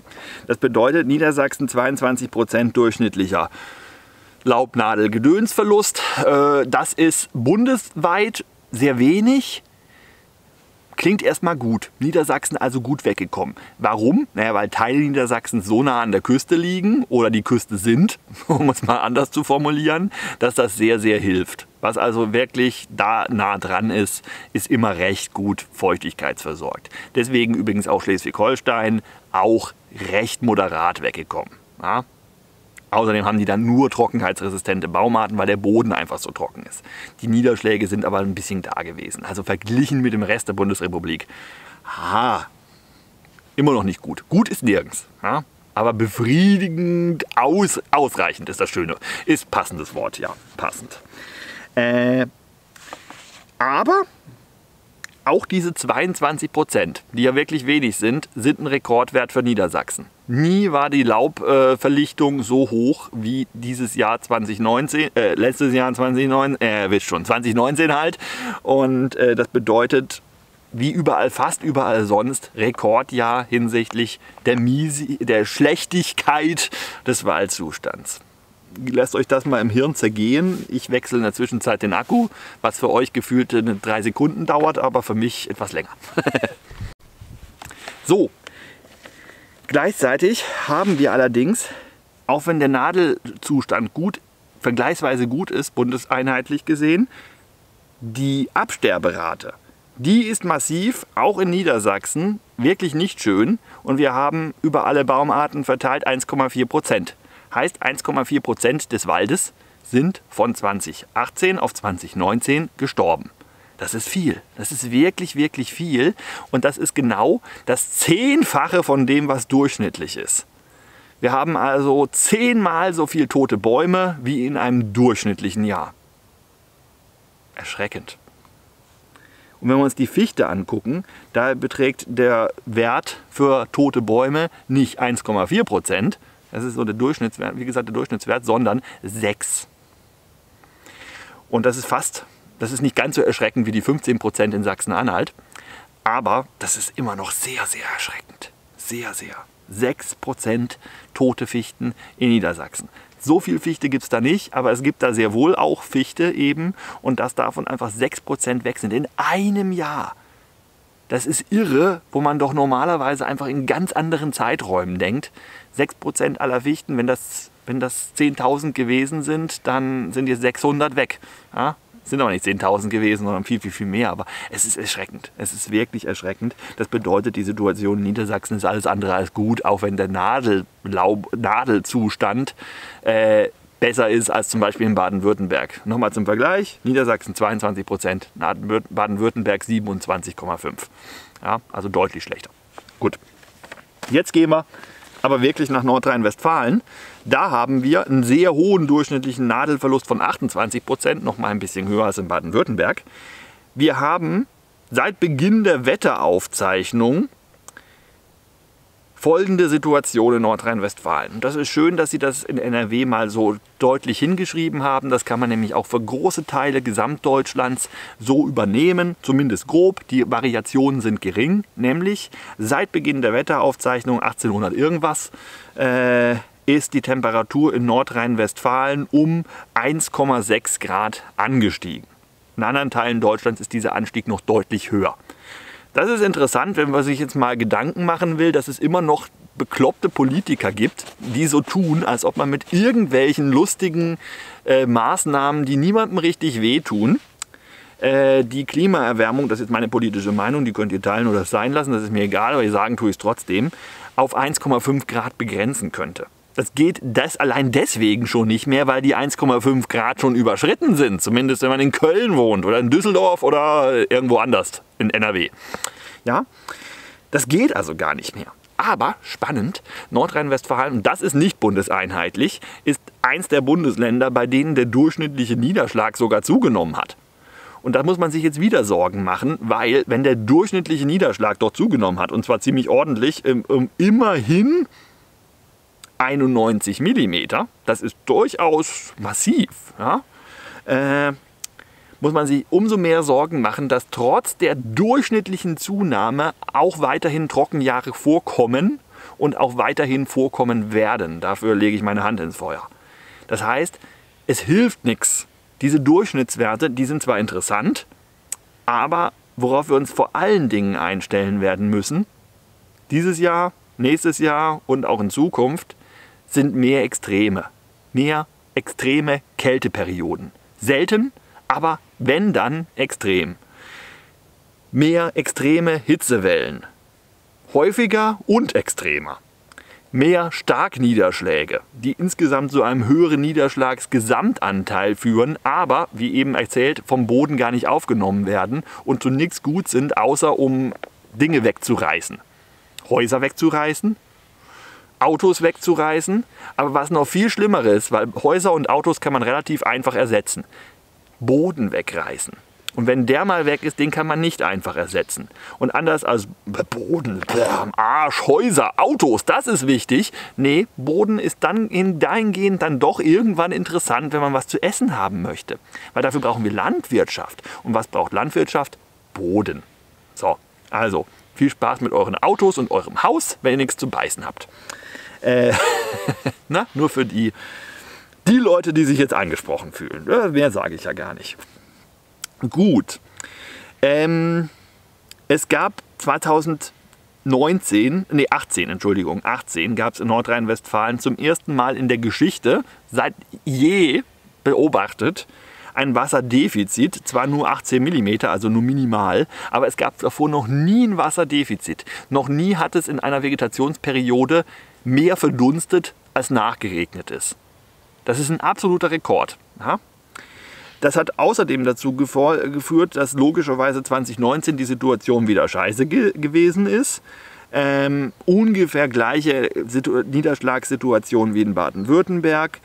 Start eben mit diesem leichten Defizit, dann nasser Winter, trockenes Frühjahr, der Mai, der vieles wieder rausgehauen hat und das Schlimmste verhindert hat. Und damit kommen wir auf insgesamt sehr, sehr, sehr ernst, aber nicht so schlimm wie 2018.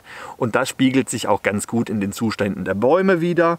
Die Eiche stark geschwächt, auf beschädigtem Niveau besorgniserregend und wirklich nicht schön, ähm, deckt sich ungefähr mit der Situation in Hessen, das Sinn macht, das ist ja gleich nebendran, ähm, ungefähr auch mit der Situation in Brandenburg, war ein bisschen besser.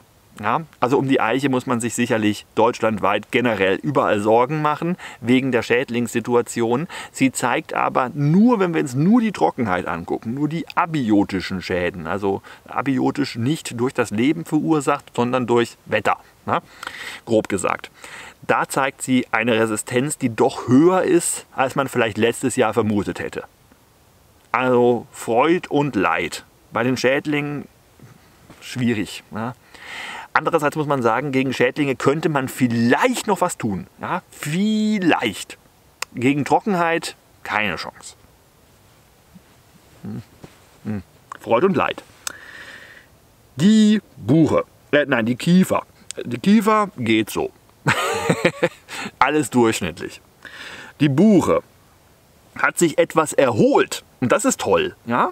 Und das deckt sich mit dem, was ich beobachtet habe, weil ich bin ja in NRW viel unterwegs gewesen. Äh, 2019 werde ich auch 2020 häufiger zu Gast sein und habe mir da auch wirklich reichlich Wald angeguckt und muss sagen, Buchensituation verglichen mit anderen Ecken des, des Landes ist eigentlich geht.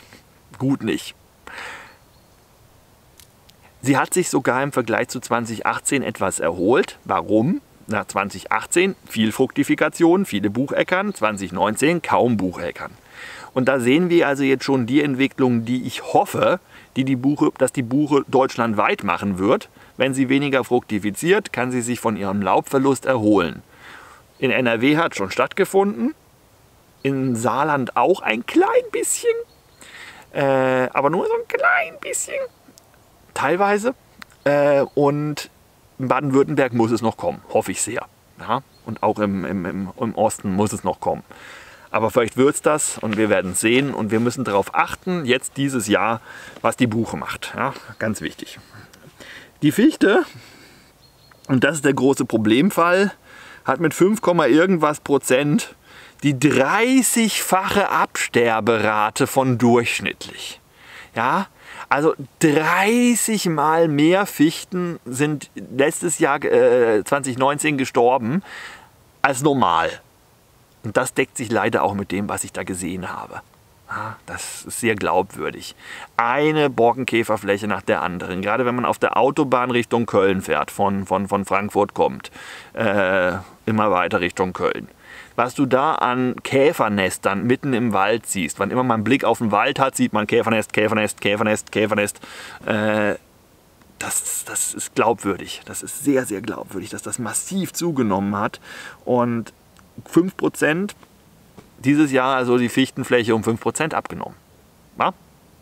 Nächstes Jahr, also 2020, mag das, mag das nochmal genauso schlimm werden.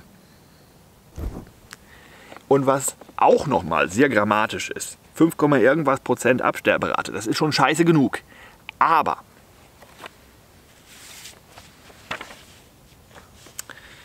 gucken wir uns mal diese schöne Grafik hier an. Da sehen wir prozentualer Befall der Fichte mit Borkenkäfer über die Zeit. Ja? Hier geht es los 1989 Wenig Borkenkäfer, wenig, wenig, wenig, wenig, wenig, wenig, wenig, wenig, wenig. Hier ist ein bisschen was gewesen. Wenig, wenig, wenig, wenig. 18 ordentlich, 2019, bam, durch die Decke. Gigantischer Borkenkäferbefall. Mehr als jemals. Ja? Und warum? Weil 2018 hier klein bisschen, ne? der Balken ist vorhanden, man sieht ihn, man sieht ihn. Ja? Jetzt viel mehr. Warum? Weil 2018 eine zusätzliche Borkenkäfergeneration geschlüpft ist. Und die hat überwintert. Und die hat für die Situation 2019 ja, Verantwortung übernommen, wenn man so will. Folgendes. Nehmen wir mal an, ein Borkenkäfer legt 10 Eier. Das ist nicht so, der legt viel mehr, aber man kann da schön mit rechnen. So, eine Generation Borkenkäfer in einem, früher war das mal normal, dass pro Jahr eine Generation Borkenkäfer entsteht. Das heißt, Borkenkäfer überlebt den Winter, bohrt sich raus, fliegt zu einer anderen Fichte, bohrt sich rein, legt zehn Eier, nur zum Rechnen, ja. Die brauchen den Rest des Jahres, um sich zu entwickeln. Und im nächsten Jahr hat man quasi aus einem Borkenkäfer zehn Borkenkäfer bekommen, der den Winter überstanden hat. Ob die jetzt alle den Winter überstanden haben oder nicht, weiß man nicht, aber bei einer Generation Borkenkäfer im Grunde kein Problem. Eine starke Vermehrungsrate, aber noch vergleichsweise überschaubar. Zwei Generationen Borkenkäfer bedeuten, dass im nächsten Jahr halt nicht der eine Käfer losfliegt, sondern es fliegen gleich mal äh, na, zwei Generationen Borkenkäfer im gleichen Jahr bedeuten, dass bevor das Jahr um ist, der Käfer mit seinen zehn Nachkommen, dem seine Nachkommen bereits soweit sind, auszufliegen und sich auf zehn Fichten zu verteilen und jedes Mal wieder noch zehn Eier zu legen. Und im nächsten Jahr haben wir bei zwei Borkenkäfergenerationen nicht potenziell zehn neue Käfer, sondern potenziell 100 neue Käfer. So, und bei drei Generationen haben wir potenziell 1000 neue Käfer. Und wenn wir jetzt wirklich mal ein Jahr kriegen mit vier neuen Generationen, dann haben wir statt 1000 Käfer, was schon sehr viele sind, 10.000 Käfer. Und das und es sind, die legen ja nicht nur zehn Eier, ja, das ist nur damit man sich schön vorstellen kann. Wir haben also statt in einem Jahr mit nur einer Borkenkäfergeneration statt mit 10 Käfern 10.000 Käfer pro Individuum, das überwintert hat. Und damit ist dann ganz einfach zu erklären, mit dieser exponentiellen Vermehrung, diesem gigantisch exponentiellen Wachstum, was die Käfer hinlegen, weshalb aus einem kaum wahrnehmbaren kleinen grünen Balken ein gigantisch grüner Balken innerhalb von nur einem Jahr entstehen kann. Genau das ist passiert. Ja, das sieht beeindruckend aus und ist auch beeindruckend scheiße. aber nicht unbedingt überraschend. Leider. Leider. Das ist in anderen Bundesländern ähnlich, aber NRW hat es besonders schön dokumentiert und deswegen habe ich die Grafik aus NRW äh, geklaut. Alle Literaturangaben findet ihr selbstverständlich in der Videobeschreibung, gerade wenn ich solche Grafiken verwende. Alle äh, gezeigten Grafiken stammen aus den jeweiligen Waldzustandsberichten der jeweiligen Bundesländer, sind öffentlich zugänglich, kann sich jeder angucken, der möchte. Und ich glaube nicht, dass mich die jeweilige Landesregierung verklagen wird dafür, dass ich jetzt versuche, hier so eine Zusammenfassung zu machen. Das ist, glaube ich, im Rahmen des Zitatrechts auch absolut in Ordnung, gemessen an dem Volumen meinen, meines Werkes und den geringen Anteilen der Fremdwerke, äh, die ich hier zitiere. Ne, das ist äh, da, da, ich glaube, den Prozess gewinne ich. Falls da jemand meckern möchte. Jetzt gehen wir mal nach Hessen. Ganz schnell, gehen wir rüber nach Hessen. Die haben da so 27% durchschnittlichen Nadelverlust quasi wie NRW, äh, sollte eigentlich weiter überraschen, quasi wie Baden-Württemberg, so ein bisschen auf wie Rheinland-Pfalz. Rheinland-Pfalz habe ich jetzt übrigens nicht extra rausgesucht. Äh, es mal durchgelesen und festgestellt, da gibt es keine Besonderheiten, deswegen, also für mich jetzt auffällige Besonderheiten. In Hessen haben wir eine Mortalität über alle Baumarten und die ist massiv von 2,3 Prozent. Ja, äh, also äh, NRW, da sind wir noch bei, ich glaube, 1, bei Hessen schon 2, und Hessen ist eines der waldreichsten Bundesländer äh, überhaupt und das trifft die sehr, sehr hart. Und ich glaube, die Hessen die sind emotional fast mehr betroffen als das bei den Sachsen. Naja, gut, okay, die Sachsen-Anhalter, bei denen sieht es ähnlich schlimm aus. Ich glaube, die sind auch sehr emotional betroffen und machen sich echt Sorgen um ihren Wald, nach dem, was ich so mitbekommen habe, auch wenn man sich so ein bisschen Dokus anguckt, Radioberichte und so weiter. Die Hessen haben gefühlt auch am lautesten gebrüllt, als die Waldzustandsbericht rausgekommen ist und haben am lautesten Aua Aua geschrien. Zu Recht, ja, nicht, dass das schlimm wäre oder sonst wie. Ich will nur einfach darauf eingehen, wo leiden die Leute? Wo merkt man auch, und man merkt es, dass die Liebe des Deutschen zum Wald dazu führt, dass er sich jetzt auch massiv Sorgen um den Selbrigen macht. Und gefühlt, dafür gibt es keine Zahlen, aber gefühlt Hessen vielleicht wirklich am weitesten vorne dabei. Äh, Mortalität von 2,3 Prozent ist das Siebenfache des Durchschnittswertes über alle Baumarten. Und besonders beeindruckend, schlimm beeindruckend, aber beeindruckend ist die Rhein-Main-Ebene, gerade da, wo die vielen Leute wohnen. Äh, das bisschen, was da noch an Wald da ist, die Waldrate ist da nicht besonders hoch, das ist schon so, aber äh, ist mit 5% über alle Baumarten ein extrem hoher Absterbewert. Ja, das bedeutet in äh, Moment äh, 20 Jahren ist da der Wald weg wenn nichts nachwächst. Aber selbst wenn was nachwächst, in 20 Jahren ist der alte Wald weg und wir haben 20-jährigen Wald dastehen. Und auch das ist kein Zustand, der einen irgendwie fröhlich macht. Ja? Das sind so Extremsituationen. Und ähnlich wie in Sachsen-Anhalt mit dem Harzteil, mit der Fichte, muss man sich eben auch zum Beispiel in der Rhein-Main-Region von Hessen wirklich da kann man, kann man lange diskutieren, da kann man auch versuchen, Optimismus und Hoffnung zu säen, aber da gibt es ein Waldsterben 2.0. Kleinräumig gibt es das definitiv.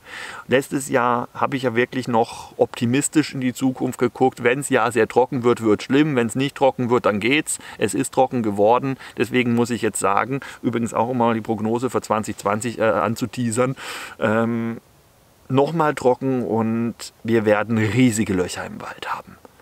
Wir werden einen Waldverlust, der noch nie da gewesen ist, erleben. Nochmal ein, äh, infolgedessen, aber wenn es ein gutes Jahr werden sollte, ein feuchtes Jahr, und hier in Baden-Württemberg hatten wir jetzt seit September massive Niederschläge. Ja, es ist ein furchtbar feuchter Winter, ein sehr feuchter Herbst gewesen äh, von meiner persönlichen Wahrnehmung. Ich habe leider noch keine Daten, aber ich bin mir sicher, dass es wirklich überdurchschnittlich feucht gewesen ist. Äh, und das bedeutet, die Startbedingungen jetzt für 2020, zumindest in Baden-Württemberg und generell Südwestdeutschland, die sind ausgezeichnet. Gut bis ausgezeichnet. Das heißt, die Chancen, dass es nochmal ein 2019er Jahr wird, die sind sehr gering. Selbst wenn es ein eher trockener Sommer wird, mit diesen Wasservorräten, die wir jetzt wieder aufgefüllt haben, müssten die meisten Bäume in der Lage sein, einigermaßen über die Runden zu kommen, ohne dass es zu großflächigen Absterbeprozessen kommt. Außer wir kriegen einen super extrem trockenen Sommer, das wäre nämlich theoretisch auch wieder drin und dann können wir uns tatsächlich auf gigantische Löcher im Wald einstellen. Ähm, ja, was muss ich noch sagen zu Hessen? Hessen sind, ist das Bundesland, das mal konkretisiert, wenn wir uns hier nochmal diese Grafik angucken. Die ist zwar nicht aus Hessen, sondern aus NRW.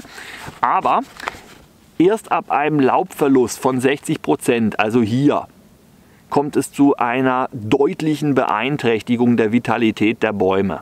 Und dann müssen wir halt sagen, dass wir ca. 90 Prozent aller Bäume in NRW, ne, in Hessen sieht das ein bisschen ähnlich aus, noch unterhalb dieser 60 Prozent Marke haben. Ja? Erst ab hier, und hier sind nicht mehr viele, ne, das sind so 5% ungefähr. Der Fichten 5%, bei den anderen Bäumen äh, ganz wenige, ganz wenige, so irgendwie im 1%-Bereich, vielleicht auch ein bisschen unter 1%. Ja? Die sind wirklich dem Tode geweiht. Das deckt sich ja ungefähr auch mit der Fichtenabsterberate, die wir für NRW prognostiziert haben, die nächstes Jahr nochmal massiv zunehmen wird, einfach weil so viel Käfer drin steckt. Ähm, aber die 60% Marke, die ist noch nicht durchbrochen von vielen Baumarten. Und das ist der Funken Hoffnung, der aus Hessen an uns alle gesendet wird, sozusagen, damit man sich nicht zu sehr Sorgen macht. Ja? Bevor sie 60 Prozent erreicht sind, ist eine Regeneration auch innerhalb von ein oder zwei Jahren auf ein ziemlich gesundes Niveau bei jedem Einzelbaum möglich. Nicht zwingend da, aber möglich ist sie noch. Ja, das war Hessen.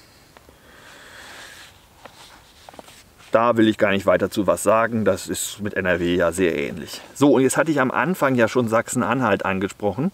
Sachsen-Anhalt war 26% durchschnittlichen Nadelverlust. Höchster Wert seit immer. Das haben wir jetzt schon ein paar Mal gehört. Das ist in jedem Bundesland fast. Äh, die gute Nachricht, die Kiefer, die Buche und die Eiche haben nur leicht erhöhte Absterberaten. Die haben zwar alle auch ordentlich Nadelverlust, aber die Absterberate, das Todesurteil spricht sich nur bei ganz wenigen Bäumen dieser Art. Ja? Äh, das ist also nicht dramatisch. Da muss man sich, dass die wirklich sterben, zumindest jetzt aus 2019er Sicht, erstmal keine Sorgen machen. Für Kiefer, Buche, Eiche. Aber Buche hat massive Zunahme bei den Laubverlusten was bei der Buche allerdings auch eben gut wieder auszugleichen ist. Wir werden es sehen. Ich mag da nichts prognostizieren, nicht für Sachsen-Anhalt, das ist so ein Spezialfall. Eiche unverändert zum Vorjahr, das bedeutet eher besser. Unverändert ist keine weitere Verschlechterung bei gleichzeitig einem sehr schlechten Jahr. Das heißt, netto ist es eigentlich ein gutes Zeichen. Äh, aber Kiefer äh, zeigt nur moderate Schäden Da haben wir also die gleiche Situation wie in Sachsen oder Brandenburg, dass die Kiefer ganz gut angepasst ist für geografisch Ostdeutschland. Auch wieder was Gutes. Und jetzt kommt's. Schlechte Nachricht, die Fichte 16% Absterberate. Ausrufezeichen, Ausrufezeichen, Ausrufezeichen, Ausrufezeichen. Ähm, das bedeutet so viel wie äh, Fichte in äh, Sachsen-Anhalt ist akut vom Aussterben bedroht. So richtig krass. Also noch mehr als der Blauwal oder äh, der weiße Hai oder irgendwie so solche Tiere, die so richtig vom Aussterben bedroht sind. So ungefähr auf dem Niveau vom Kakapo, diesem lustigen neuseeländischen Pinguin, der nur noch auf einer winzigen Insel mit, glaube, 48 Exemplaren gefühlt äh, vorkommt, der wirklich massivst vom Aussterben bedroht ist, wenn er nicht massiv unter Schutz stehen würde. Da aber niemand die Fichte unter Schutz gestellt hat, es ist irre. 16% Absterberate äh, ja, in, in, in, in, in Moment vier Jahren, also jetzt sind 16 Prozent weg, nächstes Jahr sind es dann 32, dann sind es äh, 53, nee, 53, äh, so irgendwas. Und dann sind, also in fünf Jahren ungefähr ist jedenfalls die Fichte weg, beziehungsweise es sind nur noch fünfjährige Fichten übrig. Schön, ne? Ähm, hatten wir aber schon angesprochen, die durchschnittliche Mortalität in Sachsen-Anhalt über alle Baumarten ist Rekord, deutscher Rekord, 2,9 Prozent. Muss man allerdings auch dazu sagen, in die Höhe gehoben von der Fichte. Wenn die Fichte nicht so eine extrem hohe Absterberate hätte, dann wäre die durchschnittliche Mortalität auch bei 1,4. Ah, so ungefähr diese Größenordnung. Das tut richtig, richtig weh. Ansonsten haben wir keine besondere Besonderheit in Sachsen-Anhalt. Das Klima war da auch nicht anders als woanders. Äh, es kommt einfach durch die Besonderheit, diese riesen Fichtenabsterbenrate, durch die Besonderheit zustande, dass die Fichten Sachsen-Anhalts fast alle im Harz stehen und der Harz oben drauf den Nationalpark hat. Und der Nationalpark ist der Naturschutzgedanke von dem Ding ist toll, der Nationalpark an sich ist toll. Ich habe ihn mir angeguckt, das machen die alles toll. So gut, wie man halt einen Nationalpark machen kann in Deutschland, aus meiner Sicht machen die das da. Aber Nationalpark bedeutet nun mal auch, der Borkenkäfer darf machen, was er will. Und damit hat der Borkenkäfer einen gigantischen Nationalpark als Brutzone und kann sich da ungehindert vermehren. Und auch wenn der Nationalpark einen Schutzstreifen von 500 Metern hat, wo normalerweise kein Borkenkäfer durchkommen sollte, ist das bei einer so massiven Massenvermehrung nicht mehr sichergestellt. Das bedeutet, A, der Nationalpark ist eine potenzielle Gefahrenquelle für die Fichten der Umgebung. Und B, äh, der Nationalpark selber ist kahl. Und da der Nationalpark auch bei dieser Unter äh, Erhebung mit reinzählt, die Fichtenflächen des Nationalparks auch untersucht wurden, spielen also die toten Fichten im Nationalpark für die Gesamtzahl von diesen 16 Prozent auch eben eine größere Rolle. So, was habe ich noch an Grafiken, die ich euch noch nicht gezeigt habe, weil ich es vergessen habe? Eine ist es, die hier aus Hessen, zur Situation der Buche vielleicht nochmal. Ich hatte ja schon erwähnt, die Schäden an der Buche, also hier ist 1985, na, hier ganz rechts, hier ist 2019. Die Schäden an der Buche, die sind halt zyklisch. Hoch, wird wieder besser, wird wieder besser, hoch, wird wieder besser, wird wieder besser, hoch, wird wieder besser, wird wieder besser, hoch, wird wieder besser, wird wieder besser, hoch. Und dann hoffen wir, dass in Zukunft wird wieder besser, wird wieder besser einsetzt. Und das ist die große Hoffnung bei der Buche. Das ist also wirklich eigentlich eine schöne Folie zum Schluss. habe ich eigentlich gut gemacht, dass ich sie vergessen habe. Die Hauptsorgenbaumart ist die Buche. Dass die Fichte sterben wird, das wissen wir schon lang. Dass es jetzt so schnell geht, das überrascht uns. Aber das ändert nichts am Ergebnis, das wir da schon lange, lange, lange wussten. Ja? Dass die Buche auch so stark gelitten hat, ist der Hauptschreck. Trotzdem muss man sich wegen dem langfristigen Trend und auch der Tatsache, dass in manchen Bundesländern die Buchenregeneration bereits eingesetzt hat, zum Beispiel Nordrhein-Westfalen, denke ich, immer noch nicht, auch jetzt nicht nach Kenntnis aller Zahlen, so wie ich es in meinem eigenen Buchenvideo, äh, extra Buchenvideo, so gegen, als ich aus Grönland wieder da war, habe ich das glaube ich gedreht oder kurz bevor wir da hingegangen sind, ich weiß es nicht mehr, äh, wie ich es da gesagt habe. Ungefähr so ist die Situation noch immer, auch jetzt nach Kenntnis aller Situationen. Wir müssen die Buche im Auge behalten. Wir müssen damit rechnen, dass die Buchenanbaufläche abnehmen wird deutschlandweit. In Zukunft wird Deutschland nicht mehr ein 85% Bucheland sein. Es wird eher ein dominiert Buchenland bleiben, aber kein reines Buchenland gefühlt. Ja? Es wird also erheblich mehr Standorte geben, bei denen die Buche eben nicht geeignet ist. Und eine solche Änderung der Vegetationszusammensetzung, was normalerweise bei der nacheiszeitlichen Entwicklung 1000, 2000 Jahre dauert, dass ein solcher Wandel der Vegetation passieren kann, ist zu schnell für einen Baum, der eine Lebenserwartung bei Buche von im Wald durchschnittlich, sage ich mal, 200 Jahren hat.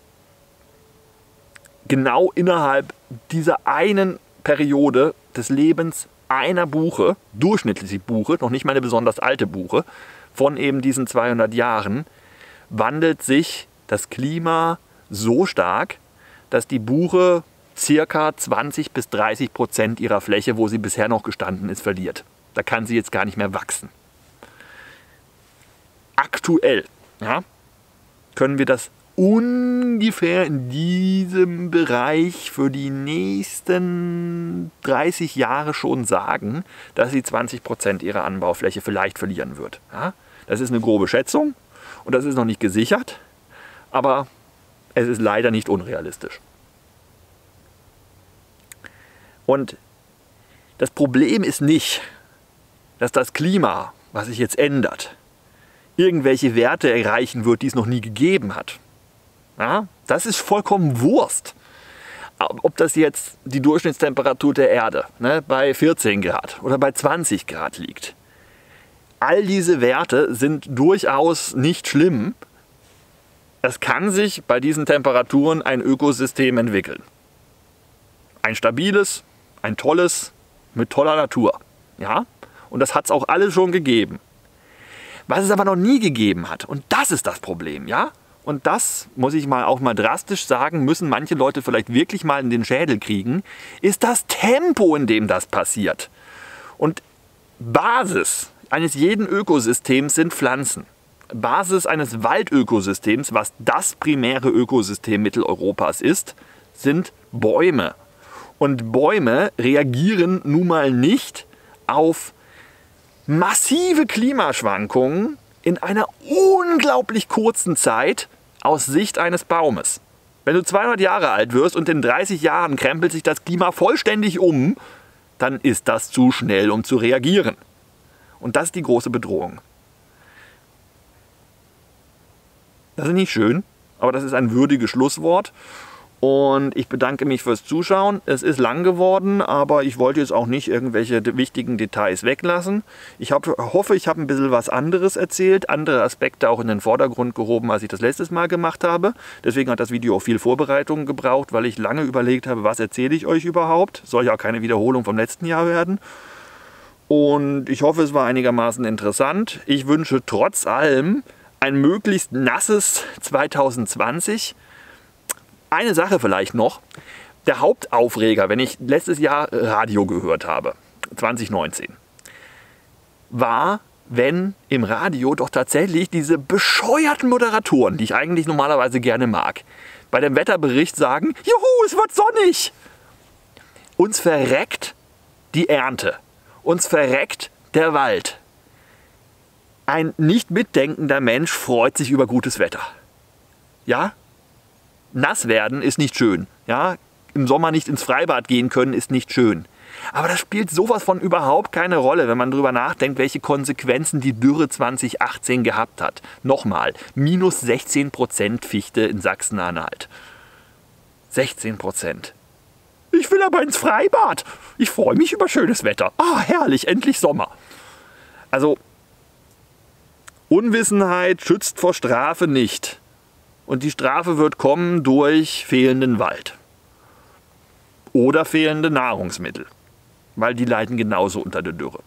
Ja? Aber jetzt ist gut. Jetzt haben wir genug geschimpft, jetzt haben wir uns genug Sorgen gemacht. Jetzt hoffen wir auf 2020 ein möglichst feuchtes Jahr. Bisher ist es das. Bisher ist in Ordnung. Der Winter war in Ordnung. Der Winter äh, bisher, ja, der ist ja noch nicht vorbei.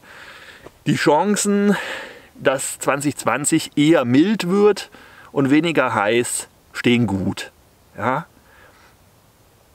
Ich hatte letztes Jahr gesagt, muss nur eine Sache loswerden, aber dann haben wir es wirklich, dass ähm, man nicht vorhersagen kann, ob es nochmal ein heißes Jahr gibt oder nicht. Jetzt ist es gekommen.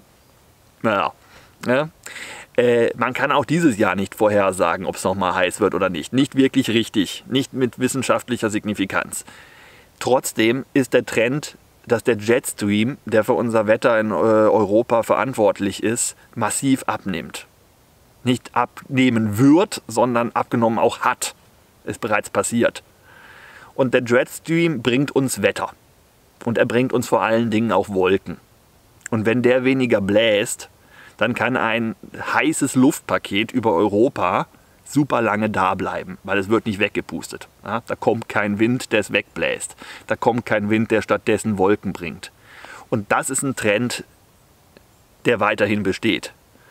Und das wird, auch wenn man das noch nicht mit wissenschaftlicher Signifikanz sagen kann, langfristig sicherlich die Dürrewahrscheinlichkeit im Sommer bei uns massiv erhöhen. Trotzdem bin ich zuversichtlich, dass es 2020 ein Ausnahmejahr wird. Die wird es auch weiterhin immer mal wieder geben. Dass es nass wird. Ja? Weil, wenn es das nicht wird, will ich gar nicht drüber nachdenken.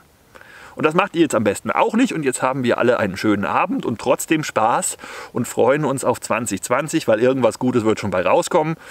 Und naja, wenn der Wald immer knapper wird, dann verdiene ich wahrscheinlich mehr Geld, weil die Leute hoffentlich noch mal mit mir in den Wald wollen, solange es den noch gibt. Also von daher, oh, böse, böse Schlusswort. Gar nicht schön. Ich wünsche euch was. Nochmal vielen Dank fürs Zuschauen. Ich hoffe, es hat gefallen äh, und ihr fühlt euch gut informiert. Gefallen kann man natürlich nicht sagen, aber jetzt aber wirklich. Tschüss, lasst euch nicht betüxen, auch nicht 2020. Macht's gut.